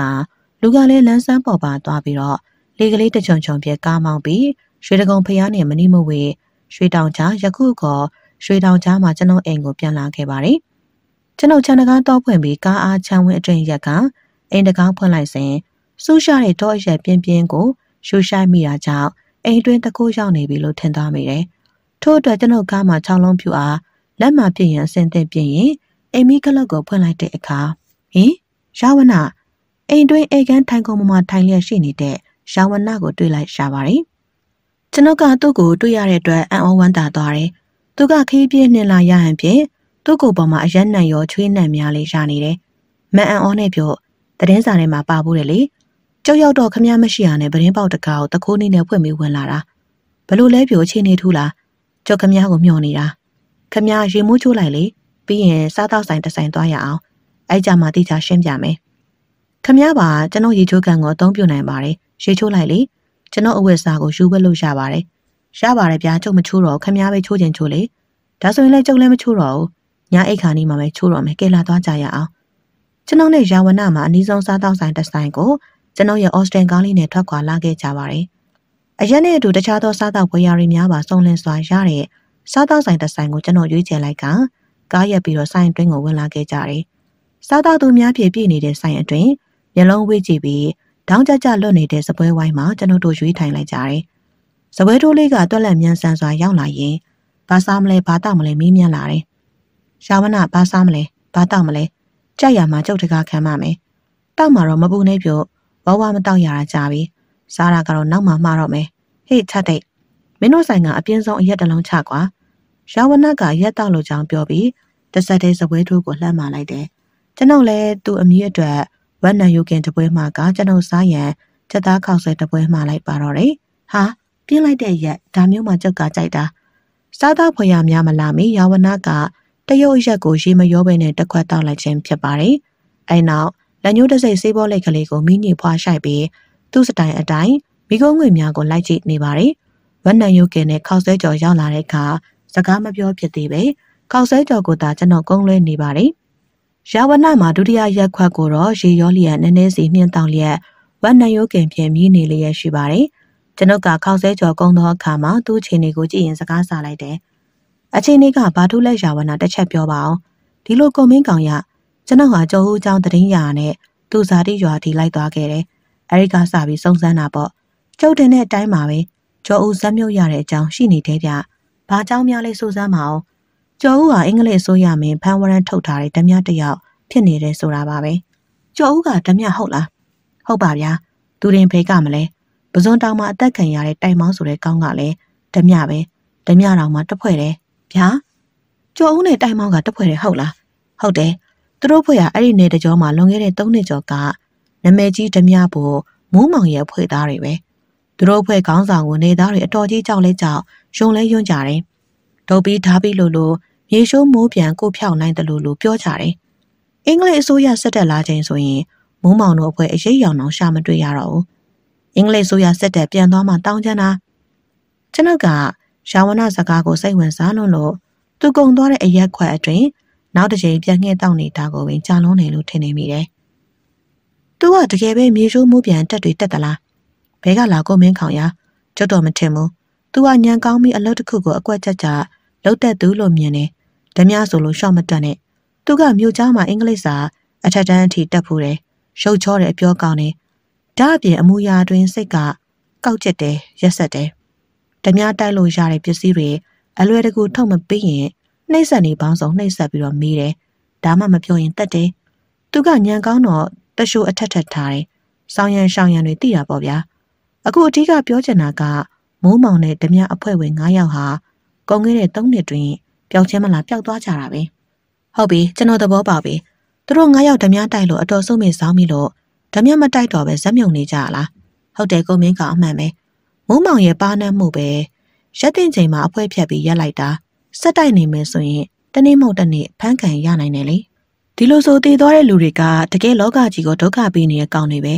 အစိုးရလိုရှိနေတဲ့ရာဇဝတ်သားတွေပဲဗျဟုတ်ပါတယ်သူတို့တည်တာစိုးကျိုးထက်ကောင်းကျိုးပိုများတဲ့အလုပ်ပဲကိုမင်းခေါင် အဓိကကြတဲ့တခုတော့ကျွန်တော်မရှာနိုင်ခဲ့ဘူးအဲ့ဒါကအခုလူတက်နေတဲ့သူတွေကဘာညှိုးနဲ့တက်နေတယ်ဆိုတာပါပဲသူတို့ဖွဲ့နှိမ့်ဆက်တက်ပြတ်ခဲ့တဲ့သူတွေကမရည်တွက်နိုင်အောင်ရှိရလေတနေ့လုံးသူတို့ဒဏ်ကိုခံကြရတာဒီလိုဆိုရင်ကွင်းဆက်ပြတ်ပြီပေါ့ဟုတ်လားယာဝနာကျုပ်လွယ်လွယ်နဲ့တော့လက်မလျှော့ပါဘူးသူတို့ဘယ်ဒေသတွေမှာဇက်မြုံနေလဲဆိုတာဆက်စုံစမ်းခဲ့တယ်မိုးမောင်ဘဲမှနေတယ်မသိပေမဲ့သူတပည့်တယောက်နေတဲ့နေရာကိုတော့သိခဲ့ရပြီကျတို့လူသက်တရခန့်ကိုမသိပေမဲ့သူအဲ့ဒီကိုရောက်လာနိုင်တယ်ကိုမင်းခေါင် ဘာလို့လဲဆိုတော့လူသက်တရခန့်ကအခုပုံတိုင်းဆိုရင်မိုးမောင်တို့တစ်ဖွဲ့လုံးကိုတတ်မဲ့အစီအစဉ်ရှိနေတယ်ဟာဟန်ကြတာပေါ့ဗျာခမအဲ့ဒီလူစီကိုသွားမှလားကျုပ်ပါလိုက်ခဲ့ပြရစေခမလိုက်တော့ပိုကောင်းတာပေါ့အလုတ်ကရောကွင့်တင်လိုက်မယ်ဗျာ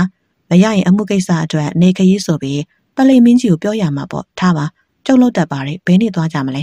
မနေ့ပြန်သွားကြမယ်ခရီးကမန္တလေးကိုသွားရမှာနှစ်ယောက်သားစားတောက်ပြီးတော့ရာဝဏအားကျွန်တော်အိမ်မှာအိမ်ရန်ခေါ်ရသူကလည်းညနေနေပြီဖြစ်တာကြောင့် မငင်းတော့ပဲလိုက်ပါလာခဲ့တယ်။ကျွန်တော်လည်းရုံးမှာခွင်းတစ်ပတ်တိုင်ကြားခြင်းကိစ္စဆောင်ရွက်ပြီးတော့ညပိုင်းရထားဖြင့်မန္တလေးကိုခရီးဆက်လာခဲ့ကြပါတော့တယ်။ကျွန်တော်တို့မန္တလေးကိုရောက်တော့တဲခိုကန်တစ်ခုမှတဲခိုကြတယ်။ရာဝဏကမန္တလေးရောက်တာနဲ့မနာပဲလောက်စရာရှိသေးရဲ့ဆိုကအပြင်ကိုထွက်သွားတာက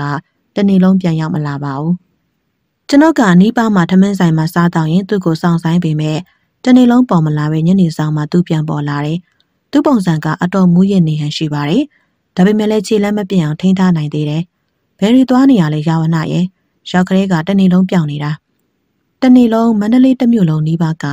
အရက်ဆိုင်တွေပတ်တောက်ပြီးတည်င်းယူနေတာခမည်းကလည်းအထူးဆန်းအရက်ဆိုင်တွေမှာတည်င်းယူရတယ်လို့အရက်ဆိုင်မှာကလူဒန်းစားဆောင်တယ်လို့တည်င်းဆောင်တယ်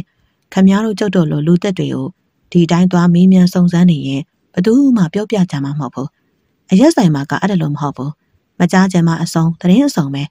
အခုကျုပ်တို့စုံစမ်းနေတဲ့လူတည်င်းကိုညနေဆောင်ထိဆိုင်တကာပတ်တော့ဟိုလူစီကမေးဒီလူစီကမေးလုံနေရတာပြောခမည်းနီးခမည်းဟန်နေကတော့ဟုတ်နေတာပဲဘလို့လဲအဆင်ပြေခဲ့ရလားอืมရခဲ့တယ်ပြောရမယ်ကျတို့ရှာမဲ့လူနဲ့အနည်းဆက်ဆုံးလို့ပြောရမယ်လူတစ်ယောက်ကြောင်းသိခဲ့ရတယ်အဲ့ဒီလူကလွန်ခဲ့တဲ့နှစ်နှစ်လောက်ကဒီမြို့ကိုရောက်လာတယ်နောက်ပြီးတော့မြို့ဆောင်မှာအိမ်ကောင်းကောင်းတလုံးဝယ်ပြီးတော့ဘာမှမလုပ်ဘဲနေတယ် လူတွေနဲ့လည်းတိတ်မဆက်ဆံဘူးလူမြင်ကွင်းနေရာတွေကိုရှောင်ရှားလေးရှိတယ်သူတပည့်တယောက်ကအိမ်အတွက်သူ့ဆရာအတွက်လိုအပ်တာဝယ်ချမ်းပေးရလေးရှိတယ်ဒီလိုရဲ့နေပုံထိုင်ပုံဟာ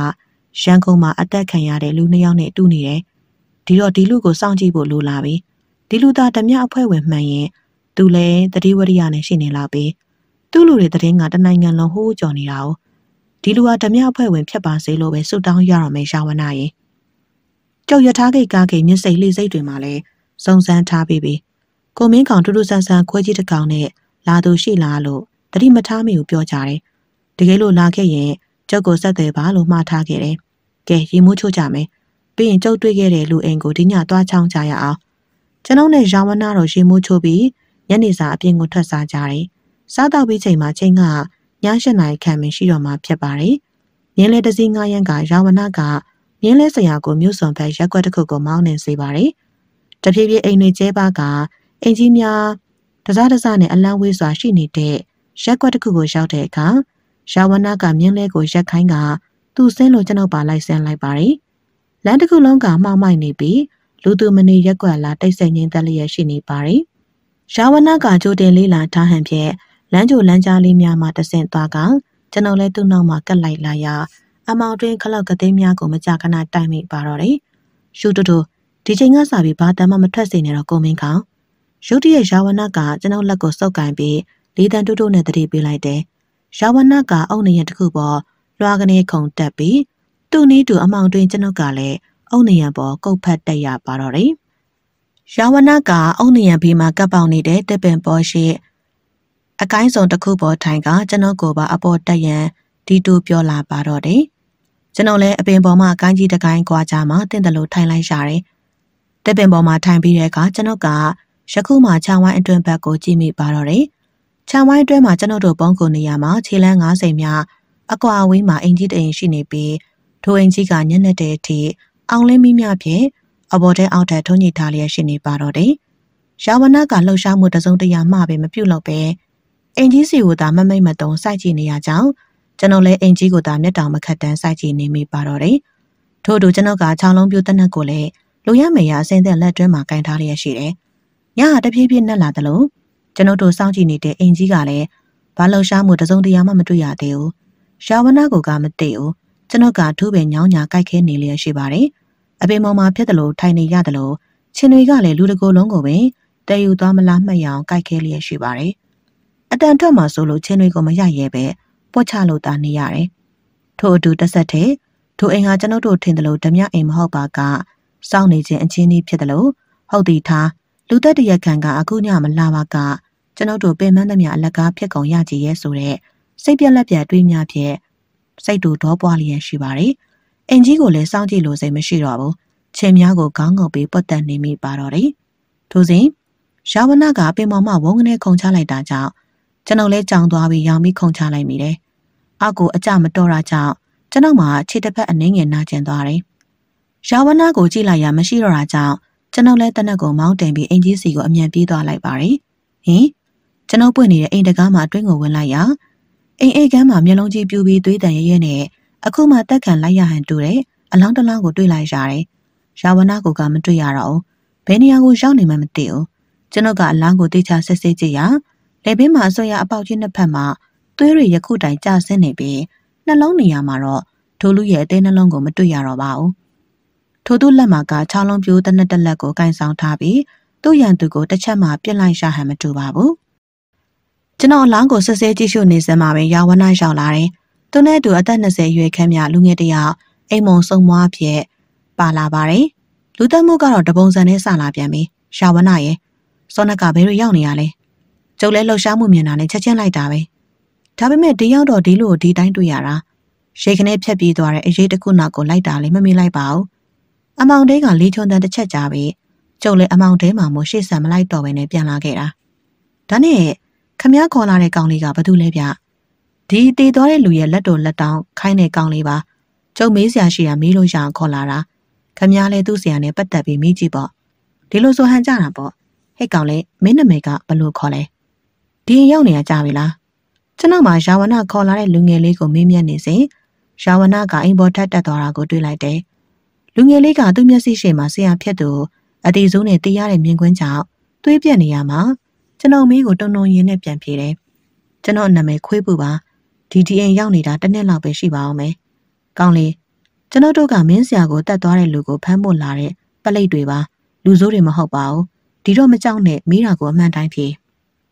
ကျွန်တော်စကားကြောင့်လူငယ်ကအနည်းငယ်အကြောင်းပြေသွားဟန်ပြေကောင်းကြီးပြတယ်။မင်းဆရာနာမည်ကဘလို့ခေါ်လဲဘာလို့လို့လဲ။ဆရာနာမည်ကစိန်ကြီးလို့ခေါ်ပါတယ်အလုံးမလုံးပါဘူး။အိမ်ထဲကအိမ်ပြန်အောင်ထွက်တာမတွေ့ဘူးပါဘူး။ကျွန်တော်ပဲလူအပ်တာလုပ်ပေးရတာပါ။ဆရာကအလွန်လျှို့ဝှက်သူတယောက်ပါ။အခုရက်ပိုင်းတွင်သူ့အခြေအနေတစ်ခုခုထူးခြားတွေ့မိလား။ဒါနဲ့မင်းရောဒီလောက်စူညံ့နေတာမနှိုးဘူးလား။ကောင်လေးမှကျွန်တော်မိကြောင်တစ်ချက်တွေးဝေစဉ်းစားလျက်ရှိနေတယ်။ပြီးမှတစ်ခုခုတတိယဟန်ဖြင့်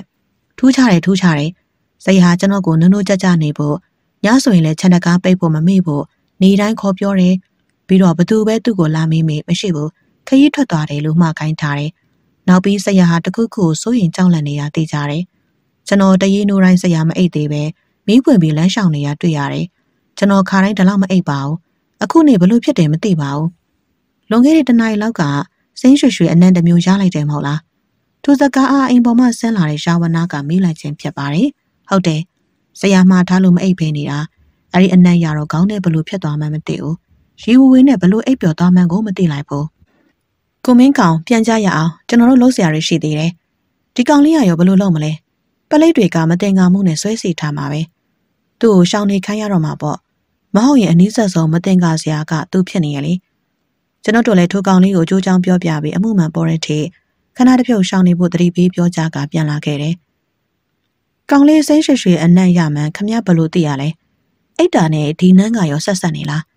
။တဲကိုရပြန်လာရလမ်းမှာကျွန်တော်မရှင်းနာကိုရှာဝနာကိုမေးမြန်းလိုက်ခြင်းပဲ။တကယ်ကကျုပ်တို့ဟာလူသက်တရခံကိုမမိပေမဲ့လူသက်ခွေးကြီးကိုတော့မိရမယ်ချင်းနေမျိုးထိရောက်ခဲ့တယ်။ကိုမင်းကောင်ဒါပေမဲ့ကျုပ်ဟာနောက်ွယ်ကအဲ့ဒီလိုရှော့တွက်မိလို့တရခံကိုမိကနေမှခြေတလန်းနောက်ကျသွားခဲ့ရတာ။ဘလို့အခုညလူသက်ခွေးကြီးရောတရခံရောမိရမယ်နေမဟုတ်လားကျွန်တော်ကိုတေချာရှင်းပြပါအောင် တကယ်ကလူသက်မှုကိုစိတ်ခိုင်းသူကအင်ငွေစေးတစ်မျိုးအရင်လွှတ်ပြီးမှ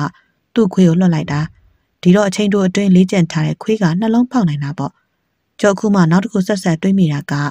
တရခံအိန္ဒိယနွယ်ဘွားဟုတ်ရင်ဟုတ်မဟုတ်ရင်အိန္ဒိယပြည်မှာနှစ်အတော်ကြာနေဘူးသူတယောက်လိုကောက်ချက်ချမိတယ်ဘလို့ကဘလို့အဲ့ဒီကောက်ချက်ချရပြန်လာလဲယာဝနာရေဒီစင်းနယ်မျိုးကျုပ်အသည့်အိန္ဒိယလူမျိုးတိုင်းရင်းဆေးဆရာကြီးတယောက်ဆေးကုရာမှာမေဆေးဖြစ်သုံးတာတွေ့ဖို့တယ်။ ဆေးပင်တစ်မျိုးကိုပြင်ဆငါးပါလိဖြတ်နေရင်အမုတ်ကျိတ်ပြီးမေဆေးဖြစ်သုံးတာ။ဒုတိယချက်ကအိန္ဒိယလူမျိုးစက္ကန့်ဆရာတွေဟာတရဝါရိုင်းတွေကိုရှင်ပအောင်ထိန်းချောင်းရာမှာဆရာတစုပဲ။စကားမဆက်ရှေးကြဆုံးဂူအောင်လူတွေအသုံးပြုတဲ့ဘာသာစကားကိုအိန္ဒိယလူမျိုးစင်ထိန်တွေကစင်ကိုအဲ့ဒီဘာသာစကားနဲ့ပဲရှင်ပအောင်သင်ကြတာ။ကျွန်တော်လည်းယာဝနာဇကားကိုစိတ်ဝင်စားနားထောင်ပြီးတော့လိုက်ပါလာတာကတဲကိုရတဲကိုကန်ကိုလမ်းလျှောက်ရတာကိုပဲမသိဖြစ်သွားပါတယ်။ တဲကိုကန်ရှေ့မှာညာလုံးပေါက်ဖွင့်တဲ့စားတောက်ဆိုင်ကြီးတစ်ဆိုင်ရှိရာတခုခုစားရင်ကျွန်ုပ်ပြောမယ်ကြံ့ယုံရှိသေးတယ်။ယာဝနာကထိုးဆိုင်အတွင်းကိုဝင်နေပြီဖြစ်တာကြောင့်ကျွန်ုပ်ပါလိုက်ဝင်သွားရတယ်။ဆိုင်အတွင်းလူတွေများများဆဆမရှိပဲသုံးလေးဝိုင်းမြတာရှိတာကြောင့်လူရှဲနဲ့စပွဲမှာဝင်ထိုင်ကြရင်ကျွန်ုပ်ကဘိုက်ဟာနေပြီဖြစ်တာကြောင့်စက်သားနဲ့ထမင်းကြော်တပွဲမှာကရာဝနာကရက်တလုံးအမီးတပွဲမှတောက်နေကလက်ညှိုးတစ်စိတ်ဆေးဘောလိတ်ကလေးဖွာပြီးမိခိုးမြမှုတ်ထုတ်က မှုတ်ထုတ်လိုက်တဲ့မိခိုးငွေတွေကိုလိုက်ကြည့်နေလျက်ရှိပါတယ်။ရာဝနာတစ်ခုခုကိုအလေးနဲ့ထားစဉ်းစားနေမှသိတာတယ်။ကျွန်ုပ်ကထမင်းကြော်ကုန်ပြီးအတန်ကြာတဲ့အထိသူ့ထံမှာစကားတစ်ခုမှထွက်မလာတာကြောင့်ကျွန်ုပ်ကပင်စတင်စကားဆိုလိုက်တယ်။ရာဝနာကျတို့ရှေ့ဆက်ဘာလုပ်မယ်လို့တွေးထားလဲ။အခုဆိုရင်လမ်းစားကပျောက်သွားပြန်ပြီ။မပျောက်ပါဘူး။အခုမှတကယ်ပွဲကြီးပွဲကမပျောက်ပါဘူး။မဝေးတော့ပါဘူးဝက်စာကိုချိန်မီဖော်နိုင်ပွဲပြတ်တဲ့လောက်ရှိသွားပြီဘလို့ဝက်စာမျိုးလဲကြုံလဲမသိရပါလား ရော့ဒီမှာသူ့လူနှစ်ယောက်စီကိုပို့မလို့ရေးထားတဲ့စာတွေခမရဟိုကောင်လေးကိုစက်နေတော့ကြုံအိမ်မော်တက်မွေရင်သူအိယာပြီးစားကြည့်စပွဲအန်ဆွဲတဲ့ကတွေ့လို့ယူလာတာရောဝနကသူ့အင်ကြီးအိတ်ထောင်ထဲမှာစားရက်နှစ်ရွက်ကိုကျွန်တော်ကိုထုတ်ပေးပြီးတရွက်စီမှာရေးထားတဲ့စာတွေကိုဖတ်ပြီးခေါင်းမြမူးနောက်တဲ့အထိဖြစ်သွားရတယ်ပထမဝက်စာမှာ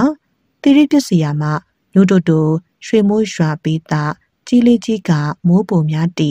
ငါတို့ပြည်သား လူသားများထားတို့ပြည်တောင်ဘွားများနေကိုမင်းကိုချင်းမရှိလေပါလိုက်လေဝေးလေဖြင့်တတ်မှတ်စံထားမပြည့်နိုင် သူများချထားရှင်အမှန်ရှင်ရခိုးဥတင်ကတော့ရှောင်းနေရောင်အောက်မိုးနေပြီး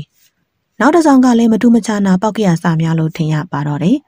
အယူတယောက်ရေးသားထားတဲ့စာများလို့ရှာဝနတာဝက်စားလို့ကြိုပြောမထရင်ထင်မိမှာမလွဲပါဘူးပထမစာကိုဖတ်ပြီးခေါင်းမူးနောက်သွားတော့ ဒုတိယစာကိုဖတ်မိတဲ့အခါပို့လို့တော့မူးနောက်သွားရတယ်ကံမောစာအတိုင်းစလုံးရင်းငုံမှတ်သူတတိရာဇဝဲမှစတင်ထားရန်ကြီးအောင်ပဲရွာနေသူရိနေမင်းအရှိန်လျှော့ပါရှိနေတဲ့သူအမှန်မသိနေဘူးတခါမှမမိဘူးပြီးစလည်းမဆုံးဖြတ်စားကဘာတွေလဲဗျာခေါင်းရှုံနေပြီဘာမှဖော်မရဘူးစာအိမ်မှာမှားလိုက်စာရောမပါဘူးလားသူကဒီစာကို မထက်ရသေးခင်မှာအသက်ခံလိုက်ရတာကိုမင်းကောင်ရ ဒီလျှို့ဝှက်စာရင်းကြီးကမိုးမောင်ဆင်ပြေတယ်လို့ထွင်ထားတာဖြစ်မယ်သူတို့အဖွဲ့ပဲနားလည်မယ်စာမျိုးဒီထဲကစာကတကြောင်ပြအောင်တော့မပါတော့ဘူးခမရဖော်နိုင်မမလားယာဝနာကျွန်တော်မေးတာကိုမဖြေသေးဘူးဒင်းကကုံသွားတဲ့အရက်ခွက်ကိုအရက်ငယ်ကတောက်နေတာကိုစိတ်တွင်းမှာမြင်ပြင်းကပ်ပေမဲ့လေအောင်တက်တက်စောင့်နေရတယ်ပြီးမှသူပြောလာတာကတခေါနဲ့ကဲကိုမင်းကောင်ကျွတ်တို့ခရီးဆက်ကြရမယ်ဗျတောင်းလက်စအရက်ခွက်ကိုလက်ဆက်သက်က ရုတ်တရက်ဆိုလာတဲ့ယာဝနာရဲ့စကားကြောင့်ကျွန်ုပ်လည်းနေရာမထားကအဝတ်ထုတ်တွေကိုတင်ဆေးလိုက်ပါတယ်ထို့နောက်တဲကိုကမ်းမှထွက်ပြီးလမ်းချားငှားမယ်ပြရကိုမင်းခေါကျွတ်တို့လမ်းချားမစီးဘူးဗျလာဗျအေးဆေးဆေးနဲ့မန္တလာညရဲ့တာယာတဲ့ရှုခင်းလေးတွေကြည့်ရင်လည်းသွားကြရအောင်ကျွန်ုပ်လည်းအပိုစကားမဆိုတော့ပဲ၎င်းနောက်မှလိုက်လာခဲ့ပါတယ်ယာဝနာပြောသလိုပဲမန္တလာရဲ့ညရှုခင်းကလွန်စွာလှပါတယ်အထူးသဖြင့်ညာစည်းတန်းကိုဖျက်တမ်းတိုက်ခတ်လာတဲ့လေးနုအေးလေးမှာ အကျော်လော်ဆောင်ရနန့်တို့ဖြင့်ရောပြောနေလျက်စားသုံးသူတို့ကိုမြှူဆွေးနေတဲ့အောင်မင်းညခါပင်ဖြစ်လင့်ကစားအတော်တန်စီကားလျက်ရှိတယ်မန္တလာရဲ့ညာစည်းထဲမှာနဖကလောကစာလူသုံးပစ္စည်းတက်ရှိတက်မဲ့တို့အစုံလင်ရရှိနိုင်ပါတယ်ရှာဝနအားကြီးရတာကအရက်ဆက်လက်အပြင်အပျော်ပါလိုက်စားရန်ကျွန်ုပ်ကိုထိုနေရာကိုခေါ်ဆောင်လာတယ်လို့ထင်မိနေပါတယ်ကျွန်တော်အတွေးမဆုံးပါဘူးရှာဝနကလမ်းကြားတစ်ခုမှာအနောက်ရက်ကိုဆင်းသွားတာကိုတွေ့လိုက်ရတယ်ကျွန်တော်လည်းဆက်လိုက်သွားတယ်မသွားတယ်ကိုချင်းချင်းနေမိတယ် ဟေးကိုမင်းကောင်လာလိဗျာနေရာတော့ကြပြီဗျာအော်ဟုတ်ဟုတ်ကဲ့ကျွန်တော်လည်းဘာနေရာကြတယ်လဲတွေးရှိနိုင်စေရန်ယာဝနာထံကိုရှောက်သွားလိုက်တယ်ယာဝနာမှာအသက်ခက်လက်လက်အမျိုးသမီးတဦးနဲ့စကားပြောဆိုနေတာကိုတွေ့ရတယ်လာကိုမင်းခေါင်ကျွတ်တို့သွားကြစို့အသက်လက်ပိုင်းရွယ်ရှိအမျိုးသမီးဦးဆောင်ရနောက်ကိုကျွန်ုပ်နဲ့ယာဝနာတို့လိုက်ပါသွားခဲ့ကြတယ်အမောင်တို့ကိုဖျက်တမ်းလျက်အတန်းကြာလမ်းရှောင်ပြီးတော့ကြီးမားခိုင်ခန့်လာတဲ့ရှေးအိမ်ကြီးတစ်လုံးကိုတွေ့ရပါတယ်အမျိုးသမီးကကျွန်ုပ်တို့ကိုချမ်းရက်က ထိုအိမ်ကြီးတဲကိုသူမတယောက်တည်းဝင်သွားခဲ့တယ်အတန်ကြာတော့ပြန်ထွက်လာပြီးယာဝနာနဲ့တီတိုတီတိုပြောနေတာကိုတွေ့ရတယ်ယာဝနာမှာထိုအမျိုးသမီးရဲ့ပြောစကားတွေကိုခေါင်းတက်ဆက်ဆက်ညှိပြီးတော့နားထောင်ပြီးနောက်ကျွန်ုပ်ဖက်လှည့်ကကိုမင်းခေါင်ကြီးစက်ကြအောင်စုရဲ့ယာဝနာဘာတွေလုပ်နေတယ်လဲကိုကျွန်တော်နားမလဲဘူးယခုကျွန်ုပ်တို့ရောက်ရှိနေတဲ့နေရာကိုပင်ကျွန်တော်မသိဘူးအတန်ငယ်လမ်းရှောင်းမိတဲ့အခါမှာကျွန်တော်အသက်ရှူဟာလေထဲမှာလက်ဆက်မှုတွေပါလာတယ်လို့ထင်မိတယ် ကျွန်ုပ်ရဲ့ရှေ့မှာကမဆောက်လာတဲ့ကုန်းမြင့်တစ်ခုယာဝနာကထိုကုန်းမြင့်လေးပေါ်တက်သွားချေပြီးကျွန်တော်လည်းနောက်မှလိုက်တက်လိုက်ရာကုန်းမြင့်ပေါ်ရောက်လေလေလက်ဆက်ပြီးဆိုးဆွတ်တဲ့လေးတွေကိုရှူရှိုက်ရလိမ့်မို့ကုန်းမော်ပင်လေဒေတာကိုရောက်ရှိနေပြီလားလို့ထင်မှတ်မိပါတယ်ခတ်သက်သက်လားပြကိုမင်းကောင်ကျုပ်တို့မမီပဲနေလိမ့်မယ်ကျွန်တော်ရှေ့မှာသွားနေတဲ့ယာဝနာရဲ့ခြေလမ်းကိုမနှင်းမီအောင်လိုက်နေရင်းမှလက်ဆက်တဲ့လီရဲ့အရင်မြက်ကိုတွေးရှိလိုက်ရတယ်အေယာဝတီမြစ်ကြီးပင်ဖြစ်ပါတယ် ရောင်စုံမီးများဖြင့်လှပနေတဲ့အနောက်ဘက်ကမ်းကိုလမ်းမြင်မိပေမဲ့လည်းထိုအလှပတွေကိုမခံစားနိုင်ပါဘူး။ရောင်ဝနာရဲ့ခြေလမ်းတွေကိုသာမနှင်းမိအောင်လိုက်နေရတယ်။မပြေုံတမဲလှမ်းနေရတာကြောင့်ချွေးများထွက်နေပေမဲ့မြစ်ပြင်ကိုဖြတ်တန်းပြီးတိုက်ခတ်လာတဲ့လက်ဆက်တဲ့လေးများကြောင့်အထူးပင်ပန်းခြင်းမရှိလာပါဘူး။ပြိုးလေသမားရှိလားပြိုးရောင်ဝနာရဲ့အော်တန်ကြောင့်တဲတောင်ပြန်ပေါ်ရှိတဲလေးတစ်လုံးမှလူတစ်ယောက်ထပ်ပေါ်လာခဲ့တယ်။ လှေသမားတော့ရှိတယ်ဒါပေမဲ့ညအချိန်ကြီးမြစ်ကိုဖြတ်ပြီးဘသူမှမပို့ဘူးဗျကျွတ်တို့ကိုမတ်တေစီကလှုပ်လိုက်တာပါဒီမှာသူ့မိတ်ဆွေကိုစိုးမောင်ရှိတယ်လို့ပြောလို့ဗျမတ်တေစီဆိုတဲ့နာမည်ကြောင့်တမန်ခတ်သမားကတစ်ချက်တွေးဝေသွားတယ်ဒေစီရဲ့မိတ်ဆွေတွေလားဒါဆိုရင်တော့ကျုပ်ကလိုက်ပို့ပေးရမှာပေါ့လာဗျာကိုစိုးမောင်ကတဲတွင်းပြန်ဝင်သွားပြီးပစိုးတထဲကိုပကုံးပေါ်တင်းလျက်ပြန်ထွက်လာတယ်ရာဝနာမှာကိုစိုးမောင်ရဲ့အပြုတ်မှုကိုဖိနှွဲ့တယ်ထင်နေပါတယ် လေသမန်များထားရှိရာလေစိတ်ကိုဆင်းသွားခဲ့ပြီးဖြစ်ပါတယ်။ကန်းဆက်မှာရက်တန်ကကျွန်တော်တို့အားစောင့်ဆိုင်နေတယ်လို့ထင်ရတဲ့ရာဝနမှာမြင့်လေစီကိုလေဆန်းဆန်းနဲ့ကြည့်နေတာတွေ့ရတယ်။ဒီကိုလာပြုတ်တတိထားတက်နော်ချီချုံမေးပြ။လေသမားကိုစိုးမောင်မှ၎င်းရဲ့လှေကလေးကိုငုတ်တိုင်မှာကျိုးဖြုံရင်းနဲ့လှမ်းអော်လိုက်ပါတယ်။ရာဝနာနဲ့ကျွန်တော်လည်းထိုးလှေပေါ်လေးကိုတက်လိုက်ကြပါတယ်။အမြဲလိုလိုတင်းငိမ့်နေတတ်တဲ့ရာဝနာမှာဒီကနေ့မှခါတိုင်းနဲ့မတူဘူးစိတ်လှုပ်ရှားနေရန်ရှိပါတယ်။ လူကသာလှေပေါ်မှာရှိနေပြီးမဲ့သူ့ရဲ့အာယုံကမျက်လည်ရှိတရွရွသွားနေတဲ့တံတန်တစ်ခုကိုစူးစိုက်ကြည့်နေပါတော့တယ်။နောင်ကြီးကိုစိုးမောင်မြန်မြန်လေးခတ်ပေးလို့မရဘူးလားဗျ။ဒီနှုံးကအမြန်ကြီးမဟုတ်ပေမဲ့ညအချိန်မှာရေချောင်းအန်ဒီရဲ့ကင်းမှုအတွက်လုံလောက်ပါတယ်မိတ်ဆွေ။ကိုစိုးမောင်ရဲ့ခြေပါစကားကြောင့်ရာဝနာကဆက်မပြောတော့ပဲ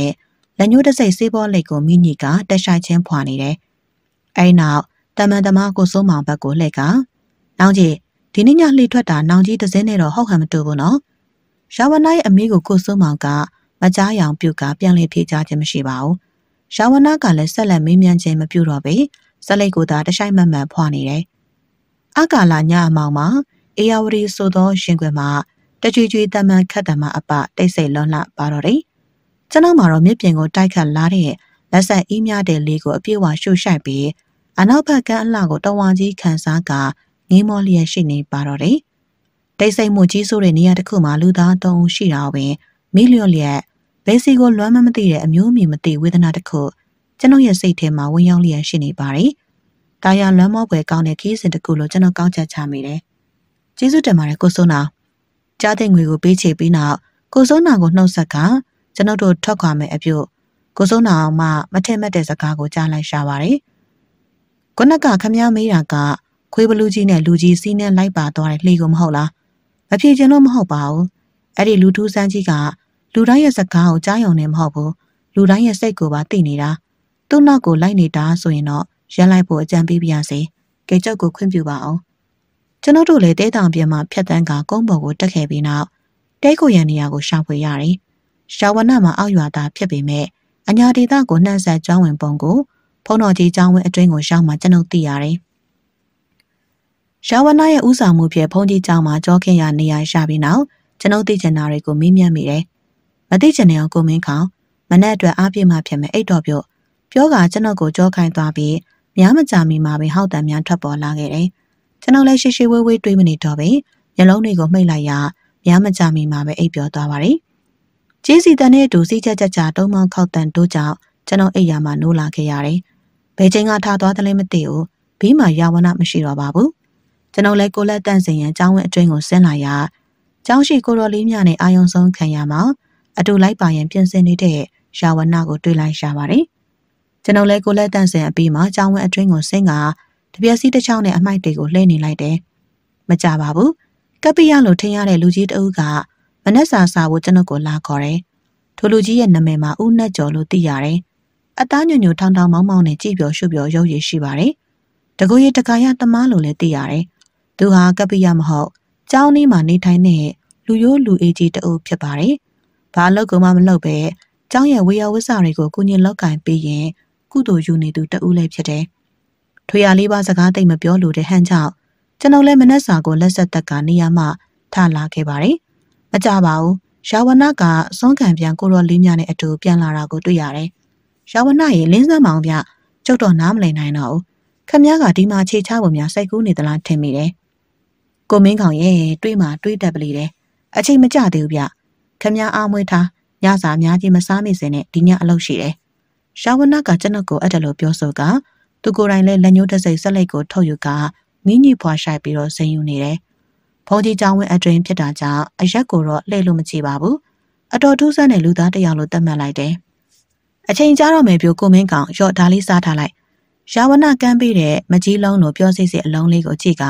ကျွန်ုပ်မှမြူချရင်ရွှွန့်သွားမိတယ်။စားလိုက်ပါ။ဒါကညအတွက်အထက်ကိုဖြစ်မှာပါ။ကျွန်ုပ်လည်းထိုစည်းလုံးလေးကိုရင်းနဲ့မျောချကမရမကမြူချလိုက်တယ်။ဒီလိုနဲ့စကားစမီပြောဆိုကြလျက်အချိန်မှကုန်မမသိကုန်လာခဲ့တယ်။ကျောင်းတိုင်ဘုန်းတော်ကြီးပင်ဖျားဝဲတက်ပြီးမြတ်တာပေါ်အမြဝေးနေပြီဖြစ်ပါတယ်။ကိုမင်းကောင်ရဲ့အိတ်ကြဆိုရဲ့ဟင်ကျွန်တော်အံ့ဩသွားပြီးမိမယ်အလုံးပါပြီ။ရာဝဏကကျောင်းပေါ်ကိုရောက်ရှိသွားခဲ့ပြီဖြစ်ပါတယ်။ကျွန်တော်လည်းဦးကျောင်းကျောင်းပြရာဝဏနောက်မှာလိုက်ပါလာခဲ့တယ်။ ယနေ့ညအလုပ်ရှိတယ်ပြောပြီးအိတ်ဆက်ရန်ခေါ်တဲ့ရာဝဏကိုမေးချင်တဲ့မေးခွန်းတွေရှိပေမဲ့ရာဝဏကဟောက်တံများပြီးလို့အိပ်ပျော်နေပြီဖြစ်ပါတယ်။ကျွန်တော်အိယာထက်ကိုရောက်ပြီးများမကြမီမှာပင်ကျောင်းတစ်ခုလုံးဟောက်တံမှာအပါတိတ်ဆိတ်ငိမ့်သက်သွားပါတယ်။ထို့စဉ်ကိုမင်းကောင်ထထအချင်းကြပြီ။ရာဝဏကလေးတန်းပြက်နှိုးလာတာကြောင့်ကျွန်တော်လည်းအိယာမှာအသာထားကကျောင်းပေါ်မှာဆင်းလိုက်တယ်။ရာဝဏကဘုန်းကြီးကျောင်းအတွင်းမှာထွက်ခွာကကျောင်းဘေးရှိဦးနဲ့ကျော်ရဲ့အိမ်ကိုဦးတီကတွားနေပါတယ်။ ကျွန်တော်လည်းနောက်မှာခြေတမ်းမကြောက်အောင်အသာလိုက်ပါရင်ခြေနေကိုစောင့်ကြည့်နေလိုက်တယ်။ရာဝဏကဦးနဲ့ကျော်ရဲ့ချမ်းဝင်းအတွင်းကိုလွှာကနေခုံဝင်လိုက်ကအချိန်လေးကိုကြည့်နေတယ်။ထူးဆန်းတာကဦးနဲ့ကျော်ရဲ့နေရင်အတွင်းမှာကျွေးမွေးထားတဲ့လမ်းဘေးခွေးအများပြားရှိပေမဲ့ဟောင်တန်လုံးဝမကြားရခြင်းပဲကျွန်တော်လည်းထိုချမ်းအတွင်းကိုခုံဝင်လိုက်တယ်ကျွန်တော်အံ့ဩသွားတယ်ခွေးတွေကတုံယုံလဲကြနေတာကိုတွေ့လိုက်ရှာပါတယ်တီတာတော့မဟုတ်တန်ရာခွေးတွေကလူးလွန်နေသေးတယ်ထိုစဉ်ယာဝနာကကျွန်တော်ကိုချက်ပြက ဦးနဲ့ကျော်ရဲ့အိမ်တဲကိုဝင်ရောက်သွားပါတယ်ကျွန်တော်လည်းနောက်မှကတ်လိုက်ကအိမ်တွင်းကိုဝင်လိုက်တယ်မီးထွန်းညှိထားခြင်းမရှိတဲ့အိမ်တွင်းမှာမှောင်နေမယ်မယ်ဒါပေမဲ့ညှိဆိုးဆိုးအနှံ့တစ်မျိုးရနေတယ်လို့ကျွန်တော်ထင်မိတယ်ဟာယာဝနာဟိုမှာကျွန်ုပ်မြင်တွေ့လိုက်ရတာကမျက်လုံးစိမ့်နှလုံးလင်းမြန်သောအဟုန်ဖြင့်အိမ်ခန်းတွင်းမှပြေးထွက်လာကပြင်ပကိုတိုးထွက်သွားခဲ့တယ်။ရှာဝနာမှာလှိမ်မြန်သောအဟုန်ဖြင့်ထိုရာနောက်ကိုလိုက်ပါသွားခဲ့ပါတော့တယ်။ ကျွန်ုပ်လည်းအတန်တင်ပါလာတဲ့သုံးတောင်တို့တမီးရဲ့အလင်းရောင်ဖြင့်အိတ်ခမ်းတွင်းကိုဝင်ရောက်ခဲ့ရာအဲ့ရထက်မှာပလက်အနေထားနဲ့တေဆုံးနေတဲ့ဦးနဲ့ကျော်ရင်ဘတ်ဟောင်းလောင်းပွင့်လျက်တဲနှလုံးတွေပျောက်ဆုံးနေတယ်။ခြံတွင်းမှာလှုပ်ရှားမှုတွေကြောင့်ကျွန်ုပ်လည်းအခန်းတွင်းမှာကတ်တတုတ်ထွက်လိုက်ပြီးချန်ပီယံရအောင်အတော့နှင်ခဲ့ရသေးတယ်။ဦးနဲ့ကျော်မွေးထားတဲ့ခွေးတွေကအိတ်ဆေးပြေကနိုးလာတာကြောင့်ဖြစ်ပါတယ်။ကျောင်းဝင်းအတွင်းကိုဟမ်မပြတ်ဝင်ကအိတ်ရမှာဝင်ရောက်အိတ်နေလိုက်တယ်။ ညမကြမီပင်ယာဝနာလည်းပြန်လဲရောက်ရှိလာကကျွန်ုပ်ဘေးမှာဝင်ရောက်လှည့်ချလိုက်တာကိုတွေ့ရတယ်။သူ့ရဲ့စူးစမ်းအားထုတ်မှုကစကားဖြစ်ပြောရမလို့ဘူး။ဖားဖို့လိုပိန်လိုက်ဖောင်းလိုက်ဖြစ်နေတဲ့သူ့ရဲ့ရှင်ဘတ်ကြီးကတတ်တယ်ပဲ။မနဲ့လင်းတော်ဦးနဲ့ကျော်ရဲ့ရုပ်ပြက်ဆင်းပြက်ဖြစ်နေတဲ့အလောင်းကိုတွေ့ရှိကြရပါတော့တယ်။ကံမကောင်းတဲ့ဦးနဲ့ကျော်ကနှလုံးဖောက်ပြီးစားခြင်းကိုခံရပြီးနောက်သူ့မွေးထားတဲ့ခွေးမြကပါအသားစိမ်းထက်မှတ်ပြီးစားတောက်ခြင်းကိုခံရပြန်လေရာ လူပုံစံမြင်ဖမ်းမရလောက်အောင်ပျက်စီးနေတယ်။ကျွန်ုပ်တို့လည်းအလွန်တော်တဲ့ပလိတ်တို့ရဲ့မဲမဲမြင်ရဆွဲစီမခံရမီဖုံးတော်ကြီးကိုခွင့်ပန်ကအမြန်ပြန်လာခဲ့ကြပါတော့တယ်။အပြန်ခရီးကိုစကိုင်းတရားမှာကုန်းလန့်ဖြစ်ပြန်လာကမန္တလေးမှာရှိတဲ့တဲကုတ်ကန်တစ်ခုမှာခက်တာတဲကိုရင်ဆုံးပြလိုက်ကြပါတော့တယ်။ရာဝဏမှာတာသနာနေမြေမှာလွတ်တာနဲ့ထုံးစံအတိုင်းအရက်ပလင်းထောင်ကတရုတ်တန်းမှာဝယ်ယူလာတဲ့ဝက်ခောက်တုံးနဲ့စိန်ကြားလျက်ရှိနေပြီး ကျွန်တော်လည်းတိလို့ဓာတ်တွေကိုမင်းမြန်းရန်ရာဝဏအနီးကိုထိုင်ချလိုက်မိပါတော့တယ်။ပြောစမ်းမအောင်ဗျဦးနဲ့ကျော်ကနောက်ထပ်သားကောင်မှခမရကဘလို့လုပ်ပြီးတည်ရလဲ။နောက်ပြီးတော့စကိုင်းပတ်မှာနေရဲဆိုတာကရောဘလို့တွေးမိရလဲ။ရာဝဏမှာအရက်တငုံကိုစိမ့်နဲ့စုပ်ယူတောင်းလိုက်ပြီးနောက်ဝက်ခောက်တစ်ဖက်ကိုကောက်ဝါလိုက်တယ်။အဲဒီနောက်အရက်တငုံကိုတက်မှန်တောင်းချကကတွင်းရှင်းလိုက်ပြီးနောက်ဝက်စာလေးတိရိပစ္စယမှာညိုတိုတိုရွှေမိုးရွာပြီးသားကြီးလေးကြီးက မိုးပုံများတိငါတို့ပြည်သားလူသားများထားဒိုးပြည်တော်ဘွားများနေကိုမင်းကိုချင်းမရှိလေပါလိုက်လေဝေးလေဖြင့်တတ်မှတ်စံထားမပြည့်နိုင် သူများချထားရင်အမှန်ရှကုဥတင်ကတော့ရှောင်းနေအောင်အောက်မိုးနေပြီးမှတ်မိလားမှတ်မိတယ်လေအယူစာတွေလို့စာတွေလေအဲ့ဒါအယူစာတွေဟုတ်တယ်အဲ့ဒီလူတွေယူလို့အဲ့ဒါလောက်လွယ်တာကိုဝတ်စာလှုပ်သွားကြတာပဲလင်းစမ်းပါအောင်ပြဆရာသမားရဲ့ဒီလိုပြ အပေါ်ကတီရိပြစ်စရာဆိုတဲ့စာလေးအဲ့ဒါကနီယာကိုညှော့နာပြရှိကပကံအနီးပါကိုတီရိပြစ်စရာလို့ခေါ်ကြတယ်အစားကကြုတ်တွေးမိတာကပကံဒေတာကိုပြောသလားထင်မိတယ်နောက်မှစဉ်းစားမိတော့အင်းဝမြို့ဟောင်းကိုသတိရမိတယ်နောက်ပြီးစာဖို့သူကမန္တလေးကဟိုးအဝေးကြီးမှာခြေရဖြောက်နေတဲ့သူကိုတော့ဆက်တယ်ဖို့နေနေတတ်တာဘယ်ရောက်နေမှန်းတောင်မှသိမှမထင်ဘူးအဲဒါကြောင့်ပကံနဲ့အင်းဝလွန်ဆွဲပွဲမှာအင်းဝနိုင်တယ်နောက်တစ်ခုက ADF အဲ့ဒါကအဲ့ဒီလိုရှိနေတဲ့အိမ်ဒါမှမဟုတ်နီးစပ်ရာနေရာတစ်ခုကိုညွှန်ပြတာဗျဒါကလည်းလွယ်ပါတယ်အင်္ဂလိပ်အခရာကိုနမတ်စင်တက်လိုက်တာပါပဲအင်္ဂလိပ်အခရာ22လုံးကို A ကို 1B ကို2အဲ့ဒါလိုအစင်တိုင်းယူတာ ADF ဆိုတော့146ပေါ့အဲ့ဒါကဘလို့လောက်ပြီးအော်တိပြီကျတို့တဲတဲ့ဖုန်းတော်ကြီးကျောင်းရဲ့နာမည်ကဟိုးထားတော်လိုက်တော့အဲ့ဒီမှာပဲရက်ထားခမည်းတင်ခမည်းရင်ထဲမှာပဲထားကျန်တာစာဖတ်သူတွေတွေးလိုက်မယ် ဟာဗျာခမည်းကညက်တာပဲမညက်ပါဘူးသူတို့အပြင်းတော်မှပြေးသေးရဲ့ဒါဆိုရင်ဂျားတွေကစာတွေကရော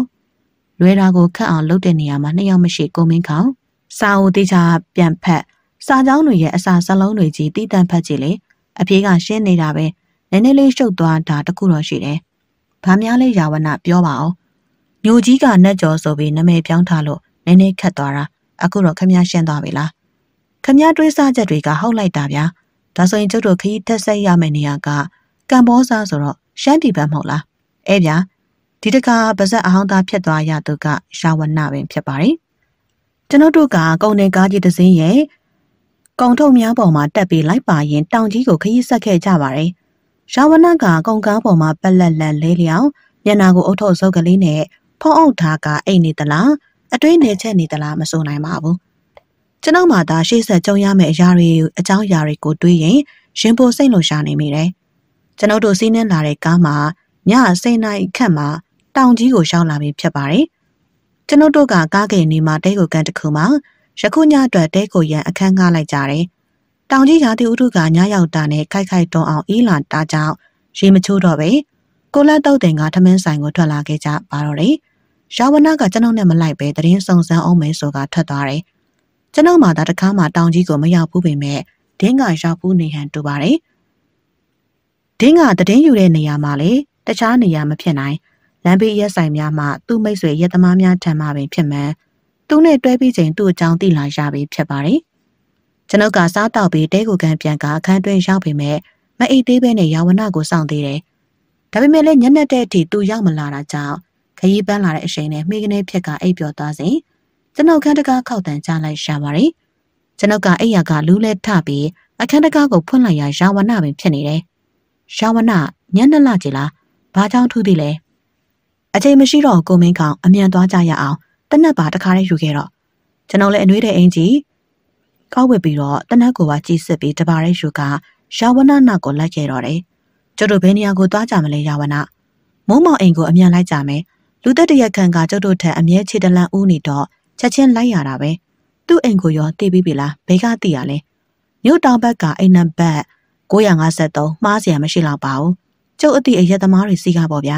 ခမရလဲတည်ရနဲ့နောက်တာပါဗျာခမရလဲယခုညဖို့ကောင်းကင်မှာလာမင်းကြီးကထိန်ထိန်တားနေတာကြောင့်ကျွန်ုပ်တို့ကသွားလာရတာကအခက်ခဲမရှိပါဘူးပတ်ဝန်းကျင်ကနှင်းငွေများပေါ်လာရောင်ဖျားနေတာကြောင့်ကြည့်ရှုရတဲ့မြင်ကွင်းတိုင်းမှာ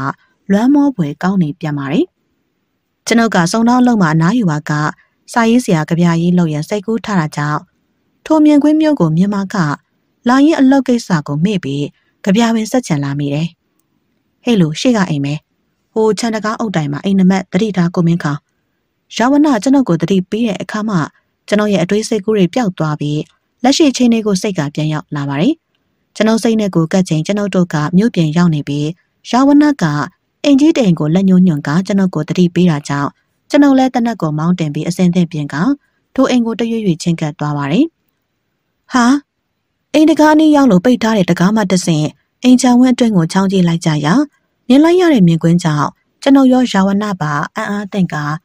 နေရာမှာပင်ကြောင်ပြီးမြင်ကွင်းကိုကြည့်နေပါတော့တယ်။ချောင်းဝင်းတွင်းကိုလာရောင်နဲ့ရှင်းလင်းစွာမြင်နေရပြီးလူကစားခန့်မြင့်တဲ့ခွေးတကောင်နဲ့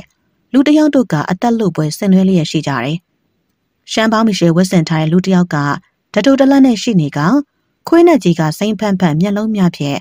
လာရောင်အောင်မှာအဆွဲကြီးအဖွေးသားနဲ့တိုးကိုတကူလှည့်ဘက်ချောင်းမြောင်းကအလေးငိုက်ချောင်းလိုက်တိုက်ခိုက်လိုက်နေရှိနေကြပါတယ်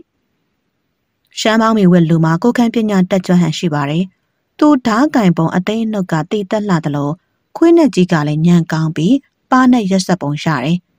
တစ်ချိန်မှာခွေးနဲ့ကြီးကခုံအုံးမဲ့ဟန်ပြင်လိုက်ရာရှမ်းပေါင်းမီဝက်ဓားကင်လူမှာနောက်ကိုခုံရှောင်လိုက်ရာခြေထောက်ကတက်တုံးတစ်ခုကိုနင်းမိပြီးခြေလန်းပြတ်သွားတယ်။ထိုအခါမှခွေးနဲ့ကြီးကထိုးသူ့ကိုခုံအောင်လိုက်ပါတော့တယ်။အတော်ပါနဲ့တဲ့ခွေးကြီးပင်ခုံအုပ်မဲ့ဟန်ပြပေမဲ့လေတကယ်မခုံအုပ်ပဲဟန်ချက်ပြတ်သွားတဲ့အချိန်ရောက်မှခုံအုပ်က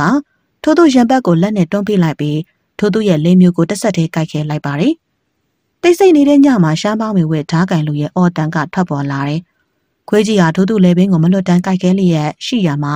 ထိုးသူမှာရုံးကန်ခဏကြာငိမ့်ကျသွားပါတယ်ထိုးနောက်တစ်ဆက်တည်းရံဘက်ကိုဇက်တိုက်ဆိုသလိုကိုက်ဆွဲရာ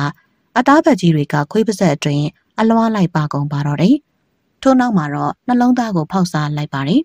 ။ကျွန်ုပ်ကထိုချိန်ထိထိုမြင်ကွင်းကိုငေးကြောင်ကြည့်ကဘာလို့ရမှမသိအံ့ဩကြောက်စိတ်ဖြင့်နေရာမှာရက်လျက်မြင်ကွင်းကိုကြည့်နေမိတာကိုဝန်ခံအပ်ပါတယ်။ ကျွန်ုပ်ကြောင်ငေးနေခြင်းယာဝနာကကျွန်ုပ်လိုကြောင်ငေးနေခြင်းကြောင့်လားဒါမှမဟုတ်တခြားအကြောင်းတစ်ခုရှိနေလို့ငြင်းနေသလားမသိနိုင်ဘူး။သူ့ထံမှာလည်းဘာတမ်းမှထွက်မလာပါဘူး။ဟာ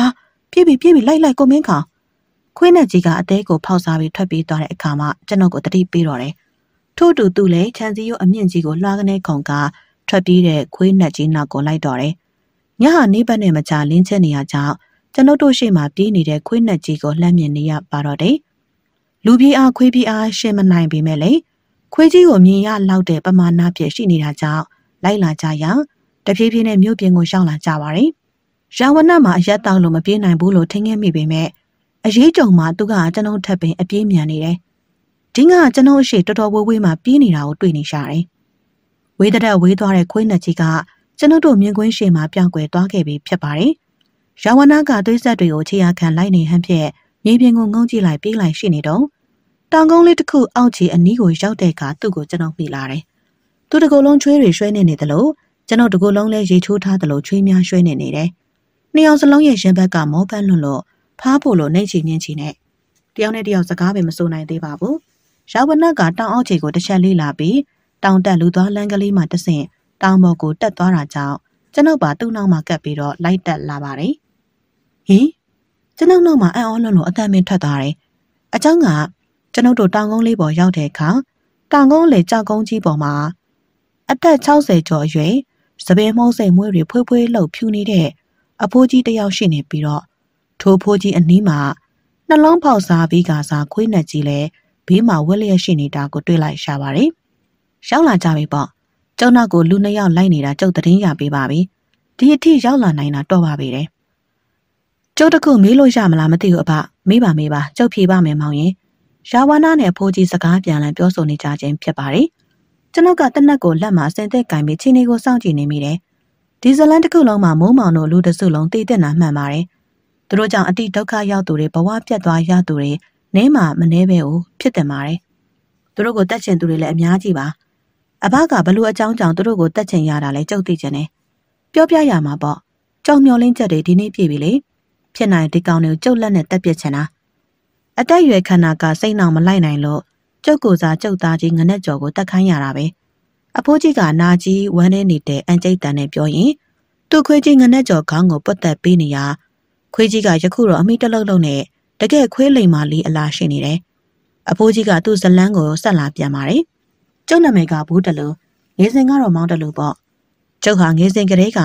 တလိษံတွေကိုထိန်းချောင်းပြီး လိမ်မာရင်ကြီးအောင်လုပ်ပေးရတာထူဝါသနာပါခဲ့တယ်။ကျုပ်လူပြိုပေါက်ရွယ်မှာစက်ကတ်တစ်ခုမှတောက်တူမဲရဝင်လို့ရင်အိန္ဒိယဆရာကြီးတယောက်နဲ့ခင်မင်ခဲ့တယ်။သူ့အဆက်တွေနဲ့ပဲအိန္ဒိယထိသွားပြီးသူ့ဆရာစီမှာပညာသင်စေခဲ့တယ်။စေပညာနဲ့အတူတကယ်ရိုင်းမာတယ်ဆိုတော့ကြားချင်တဲ့လိုအကောင်မျိုးတွေရင်ပအောင်ကျုပ်တင်ပေးသမျှလုံနိုင်အောင်ထိကျောင်းလုံးမှာတက်ကြွလိမ်မာခဲ့တယ်။ပညာဆောင်လို့မြန်မာပြည်ပြန်ရောက်ပြီးကျုပ်ဟာတက်ကြွရာပညာနဲ့နေတကာလှည့်ပြီးပြတဲ့စက်ကပ်အဖွဲ့မှာ တလိษံတွေနဲ့ဖြောပြီးပြသရတဲ့အလုပ်ကိုလိုက်လံပြသခဲ့တယ်။ကျတို့စက်ကပ်ဖွဲ့ဟာလူပြည့်လူရှမ်းတဲ့အထိအားပေးသူများနာမည်ရခဲ့တယ်။အဲ့ဒီအလုပ်ပညာဘဝတစ်ခုလိုထင်မှတ်ပြီးနေလာခဲ့တယ်လို့အိမ်တော်မပြုတ်ဘူးလို့လည်းဆုံးဖြတ်ခဲ့တယ်။ဒါပေမဲ့ကျုပ်ဟာ AR မြုံဝကျွန်းပေါ်ဒေသဘက်ရောက်ချိန်မှာပိုးဝါလို့ခေါ်တဲ့မိန်းကလေးတယောက်ကိုတွေ့ချိန်သူ့ကိုဆွဲလန်းသွားခဲ့တယ်။ကျုပ်တက်နဲ့သူ့တက်ကကွာပါတယ်။ကျုပ်က40နာကနေချိန်သူကလှတော့ပါတော့ အသက်20ကျော်စပဲရှိသေးတယ်။ကျုပ်မြတ်တာစကားကိုသူလက်ခံပါတယ်။ဒါပေမဲ့တခုတော့ဂတိတောင်းတယ်။သူ့ကိုချစ်ရင်အန်ဒီရဲ့များလုံးနဲ့အဲ့ဒီတလိษံတွေနဲ့ဖြောပြပြသရတဲ့အလုပ်ကိုမလုပ်ဖို့ပြောလာတယ်။သူ့ကြောင့်ပဲကျုပ်အလုပ်ကိုဆွန့်လွတ်လိုက်တယ်။ကျုပ်ဖွဲ့ရကျုပ်ကိုသူတို့နဲ့ပြန်လိုက်ဖို့တန်တန်ခေါ်ပြီးမဲ့ကျုပ်မလိုက်တော့ဘူးကျုပ်ပိုးဝါကိုမခွဲနိုင်တော့ဘူးလေဒီအတွက်ကျုပ်ဟာသူနဲ့ပဲအဲ့ဒီရွာလေးမှာလက်ထပ်ပြီးအတူတူနေခဲ့ကြတယ်ကျုပ်တို့အိမ်အောင်တက်တနေ့ကျော်ချိန်ပိုးဝါကိုဝင်ရှိတယ်တိလိုက်ရတော့ ပျော်လိုက်တာအလောက်ကိုနေမနာညမနာမွေးလာမဲ့ကလေးအတွက်ကြိုးစားခဲ့တယ်ကျုပ်မှချက်စရာတခုတိုးပြီလေပိုးဝါရဲ့ပိုးဝါမွေးလာမဲ့ကလေးလေးရဲ့စိတ်ကူးနဲ့ကြည်နူးရတာခဏခဏပဲဒါပေမဲ့ကျုပ်ထင်တယ်လို့ဖြစ်မလာခဲ့ဘူးပိုးဝါဟာသားလေးကိုမွေးရင်းနဲ့မိတွင်းထဲမှာပဲအသက်ပါသွားခဲ့တယ်။ကြော်ဝမ်းနေခဲ့ရတာပေါ့။ပတ်ဝန်းကျင်တစ်ခုလုံးတိတ်ဆိတ်လျက်ဘိုးပီတလူရဲ့သူ့ဘဝဇာတ်ကြောင်ပြောနေတန်ကမျက်လုံးတွဲမှာရုပ်ရှင်ကြည့်နေရတယ်လို့ပဲ သူဖြစ်ပျက်တွေကလည်းပျော်စရာနေရာများကိုတက်ကြွပျော်ရွှင်တန်ဝမ်းနေစရာများဆိုရင်လည်းဝမ်းနေတန်ဆုပ်ဆုပ်နဲ့နားထောင်နေရတာကဇလန်းခွေနားထောင်ရတယ်လို့ရှိနေပါတော့တယ်။ကျုပ်ဟာသားလေးကိုပဲပိုးဝါကိုစားအတွက်အတိုးချချက်ခဲ့တယ်ကျုပ်အသက်ထက်သားလေးကိုပို့ချစ်ခဲ့တယ်။သားလေး16ဆက်ကွန်လူပြိုပေါက်အရွယ်ရောက်တော့ကျုပ်လဲစရာထောင်းပြီးအရင်လိုအလုံးမလုံးနိုင်တော့ဘူး။ဒါပေမဲ့ကျုပ်သားလေးကလိမ်ပါတယ်။အဖေအိုကြီးကိုငားရှာဖားရှာပြီးလှုပ်ကြွေးတယ်။ ကျုပ်မှာသားလေးပင်မန်းတာကိုကြည့်ပြီးတော့ကြိတ်မျက်ရည်ကျမိတယ်။သားလေးခုလိုလိမ်မာတာကိုလည်းတစ်ဖက်ကကြည်နူးနေပြန်ရော။ဒါပေမဲ့အဲ့ဒီနေ့ကျုပ်လိုလူအိုကြီးကိုဘာမှတွေ့တာစရာမရှိအောင်လှုပ်တဲ့နေ့တစ်နေ့ကိုရောက်လာခဲ့တယ်။အဖိုးကြီးတန်ကယခုနေရာမှာဝမ်းနဲ့နာကြီးတန်ပေါက်လာတယ်လို့မျက်နာကနာကြီးစိတ်ဝမ်းနဲ့စိတ်နဲ့ရောရှက်နေတယ်။ရွာရဲကိုအဲ့ဒီနေ့ကဓမြဝင်နေ။ဘိုးတလူပြောတဲ့မိုးမောင်တို့လူစုဓမြတိုက်တဲ့အကြောင်းအား ကျွန်ုပ်ကဇလန်းရင်ရှေ့ခန်းမှာဖော်ပြခဲ့ပြီးဖြစ်ပါတယ်။ကျုပ်သားလေးကိုဗျာမိုးမောင်တို့အဖွဲကပြစ်တက်ခဲ့တယ်။ကျုပ်သားလေးတီးတယ်ပြောတော့ယုံတော့မယုံနိုင်ဘူး။သားလေးပြန်ရှန်လာမှာပဲ။အိတ်နေဒါပဲဆိုပြီးသားလေးလောင်းကိုဖတ်ပြီးစကားတွေပြောနေလိုက်ရတာ။ရွာကလူတွေကျုပ်ကိုယူသွားပြီလို့ထင်ကြတယ်။တားလေးအတုပချပြီးတဲ့နေ့ကကျုပ်စိတ်ထဲမှာဆုံးဖြတ်ချက်တစ်ခုခုချလိုက်တယ်။ကျုပ်နှလုံးသားတွေကွဲကြေခံစားရတယ်လို့သူတို့နှလုံးသားတွေပြန်ပြီးပေးဆက်ရလိမ့်မယ်လို့ သားလေးမြုပ်ထားတဲ့နေရာမှာကျုပ်ကတိပေးခဲ့တယ်။ဒါပေမဲ့ကျုပ်ကအတက်ကကြီးပြီးပတ်စံကလည်းမရှိဒီတော့ကျုပ်တက်တဲ့ပညာနဲ့ပဲတတ်မယ်ဆုံးဖြတ်ပြီးခွေးပေါက်ကလေးတစ်ကောင်ကိုမွေးလိုက်တယ်။အင်းခွေးဆက်ကလေးငငယ်ကလေးကထွားတာအရွယ်နဲ့မလိုက်ဘူး။ဒါပေမဲ့သူကခွေးအားလေးမဟောင်းတတ်ဘူး။မညံကဘာကောင်းတယ်လဲမမေးနဲ့ကျုပ်တင်ပြသမျှကိုခဏလေးနဲ့လိုက်လုံနိုင်တယ်။ဒီလိုနဲ့ကျုပ်ရဲ့စီမံကိန်းကစတော့တာပါပဲ။ဘလို့များနှလုံးဖောက်စားတတ်အောင်လေ့ကျင့်ပေးထားလေအဖ။ ရာဝဏကဘိုးတလူကိုမင်းမြလိုက်ခြင်းပင်ဖြစ်ပါတယ်။ငငယ်ကလေးကသူ့ကိုနှလုံးဖောက်ခိုင်းမယ်ဆိုရင်အစာ၃ရက်လောက်အငတ်ထားတယ်။ပြီးရင်ကောက်ရိုးအယုပ်ကိုလူလိုအဝတ်စားတွေဝတ်ပြီးနှလုံးနေရာမှာအမဲသားတုံးနေထားတယ်။ပထမတော့နည်းနည်းနေရာမကျဖြစ်နေတယ်။နောက်တော့ငနက်ကျော်ဟာသူ့ပြက်မှတ်ကိုအရှိန်နဲ့ခုံအုပ်ပြီးလေဘင်းကိုရင်ကိုက်ပြီးရင်နှလုံးကိုဖောက်ထားမြန်လာတာပါပဲ။နည်းနည်းကျော်လည်းအရွယ်ရောက်လေးကျင့်ရေးပြေးသွားတဲ့ချိန်မှာကျုပ်ဟာမိုးမောင်တို့ဘွဲကိုမြင်လန်ပြီးတော့လိုက်ရှာစုံစမ်းတော့တာပဲ။ ကျုပ်အဖွဲ့စက်ကသမားတွေနဲ့ပြန်တွေ့တော့သူတို့အကူကြီးနဲ့လည်းရှားတွေ့တာပေါ့။ပြီးမှတယောက်ချင်းစီကိုလိုက်တက်ကသူတို့အသေးမရှိပဲတေးရတာမြင်ရင်ကျုပ်အရန်အားရတယ်ပြောတယ်။အခုတော့ကျုပ်ခံစားမှုတွေသူတို့သိလောက်ပြီ။အဖိုးကြီးကစကားစုံတဲ့ကတဟားဟာနဲ့အော်ရင်နေပါတယ်။တားစိတ်ဖြစ်ဘိုးတလူတယောက်ယူနေပြီလားမပြောတတ်ပါဘူး။ကျွန်ုပ်ကဘိုးတလူအကြောင်းကြားတဲ့အခါဘိုးတလူအပေါ်တနာစိတ်ဝင်ကခံစားမှုကိုကိုချင်းစာမိတယ်။ရှာဝနာကလက်ညှိုးတစိစေးပေါ်လိုက်ကလေးကို အိတ်ထောင်တွင်းမှာထုတ်ယူမိညစ်ဖွားရှိုက်ပြီးမိခိုးငွေတွေကိုလိုက်ငင်းနေပါတယ်။ကဲမင်းတို့သိချင်တာသိရပြီဆိုတော့တေဖို့သာပြန်ကြပြီတော့ငါသားချင်းငနဲ့ကျော်ကအစာမဝသေးဘူးထပ်စားခြင်းနေသေးတာငနဲ့ကျော်ဒီကောင်နဲ့နှလုံးဖောက်လာစမ်းပါဘိုးတလူကယူသွနေချေပြီကျွန်ုပ်တို့ကိုသူ့ခွေးပြနှလုံးဖောက်ခိုင်းနေတယ်ကျွန်ုပ်ကထိတ်လန့်သွားပါတယ်ထို့အတွက်တနက်ပြည့်ခွေးကြီးကိုပြည့်ရန်ချင်းလိုက်ရာရာဝနာကမပြစ်ဖို့လက်မြောက်ထားတယ်မပြစ်နဲ့ကိုမင်းကောင်ကျုပ်ရှင်းလိုက်မယ်ဟဲ့လို လက်ပလာနဲ့ခမည်းခွေးနဲ့ကြီးကိုဘလို့ရှင်းပါလဲခမည်းကလည်းယူသွားပြီလားတီးသွားလိမ့်မယ်ကိုမင်းကောင်စိတ်အေးထားဗျာကျုပ်ခမည်းအသက်ကိုတာဝန်ယူပါတယ်စိတ်ချဘာမှမဖြစ်စေရဘူးဘိုးတလူခမည်းခွေးကြီးကကျုပ်ကြတော့လာမကြိုက်ပါလားလွတ်လိုက်လေဗျာဟင်ရာဝနာကယူသွတ်နေပြီလားမသိဘူးခွေးကြီးကိုမပြစ်ရန်တားတဲ့အပြင်သူ့ထံခွေးလွတ်ရန်ပင်ပြောတာကြောင့်ကျွန်တော်အံ့အားသင့်မိတယ်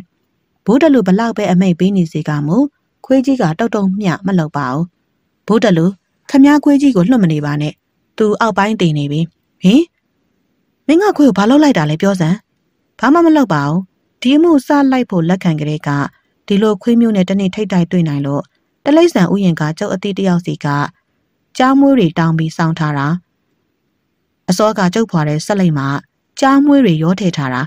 ဘလောက်တတိကောင်းတဲ့ခွေးဖြစ်ဖြစ်ကြားကိုနဲ့ကြားချေးရရင်အောက်တစ်ပိုင်းတည်သွားတတ်တယ်ဘူးတလို့ အခုခမည်းခွေနောက်နိုင်ဝက်တနိုင်လောက်ဆိုရင်အောက်ပိုင်းတည်နေလိမ့်မယ်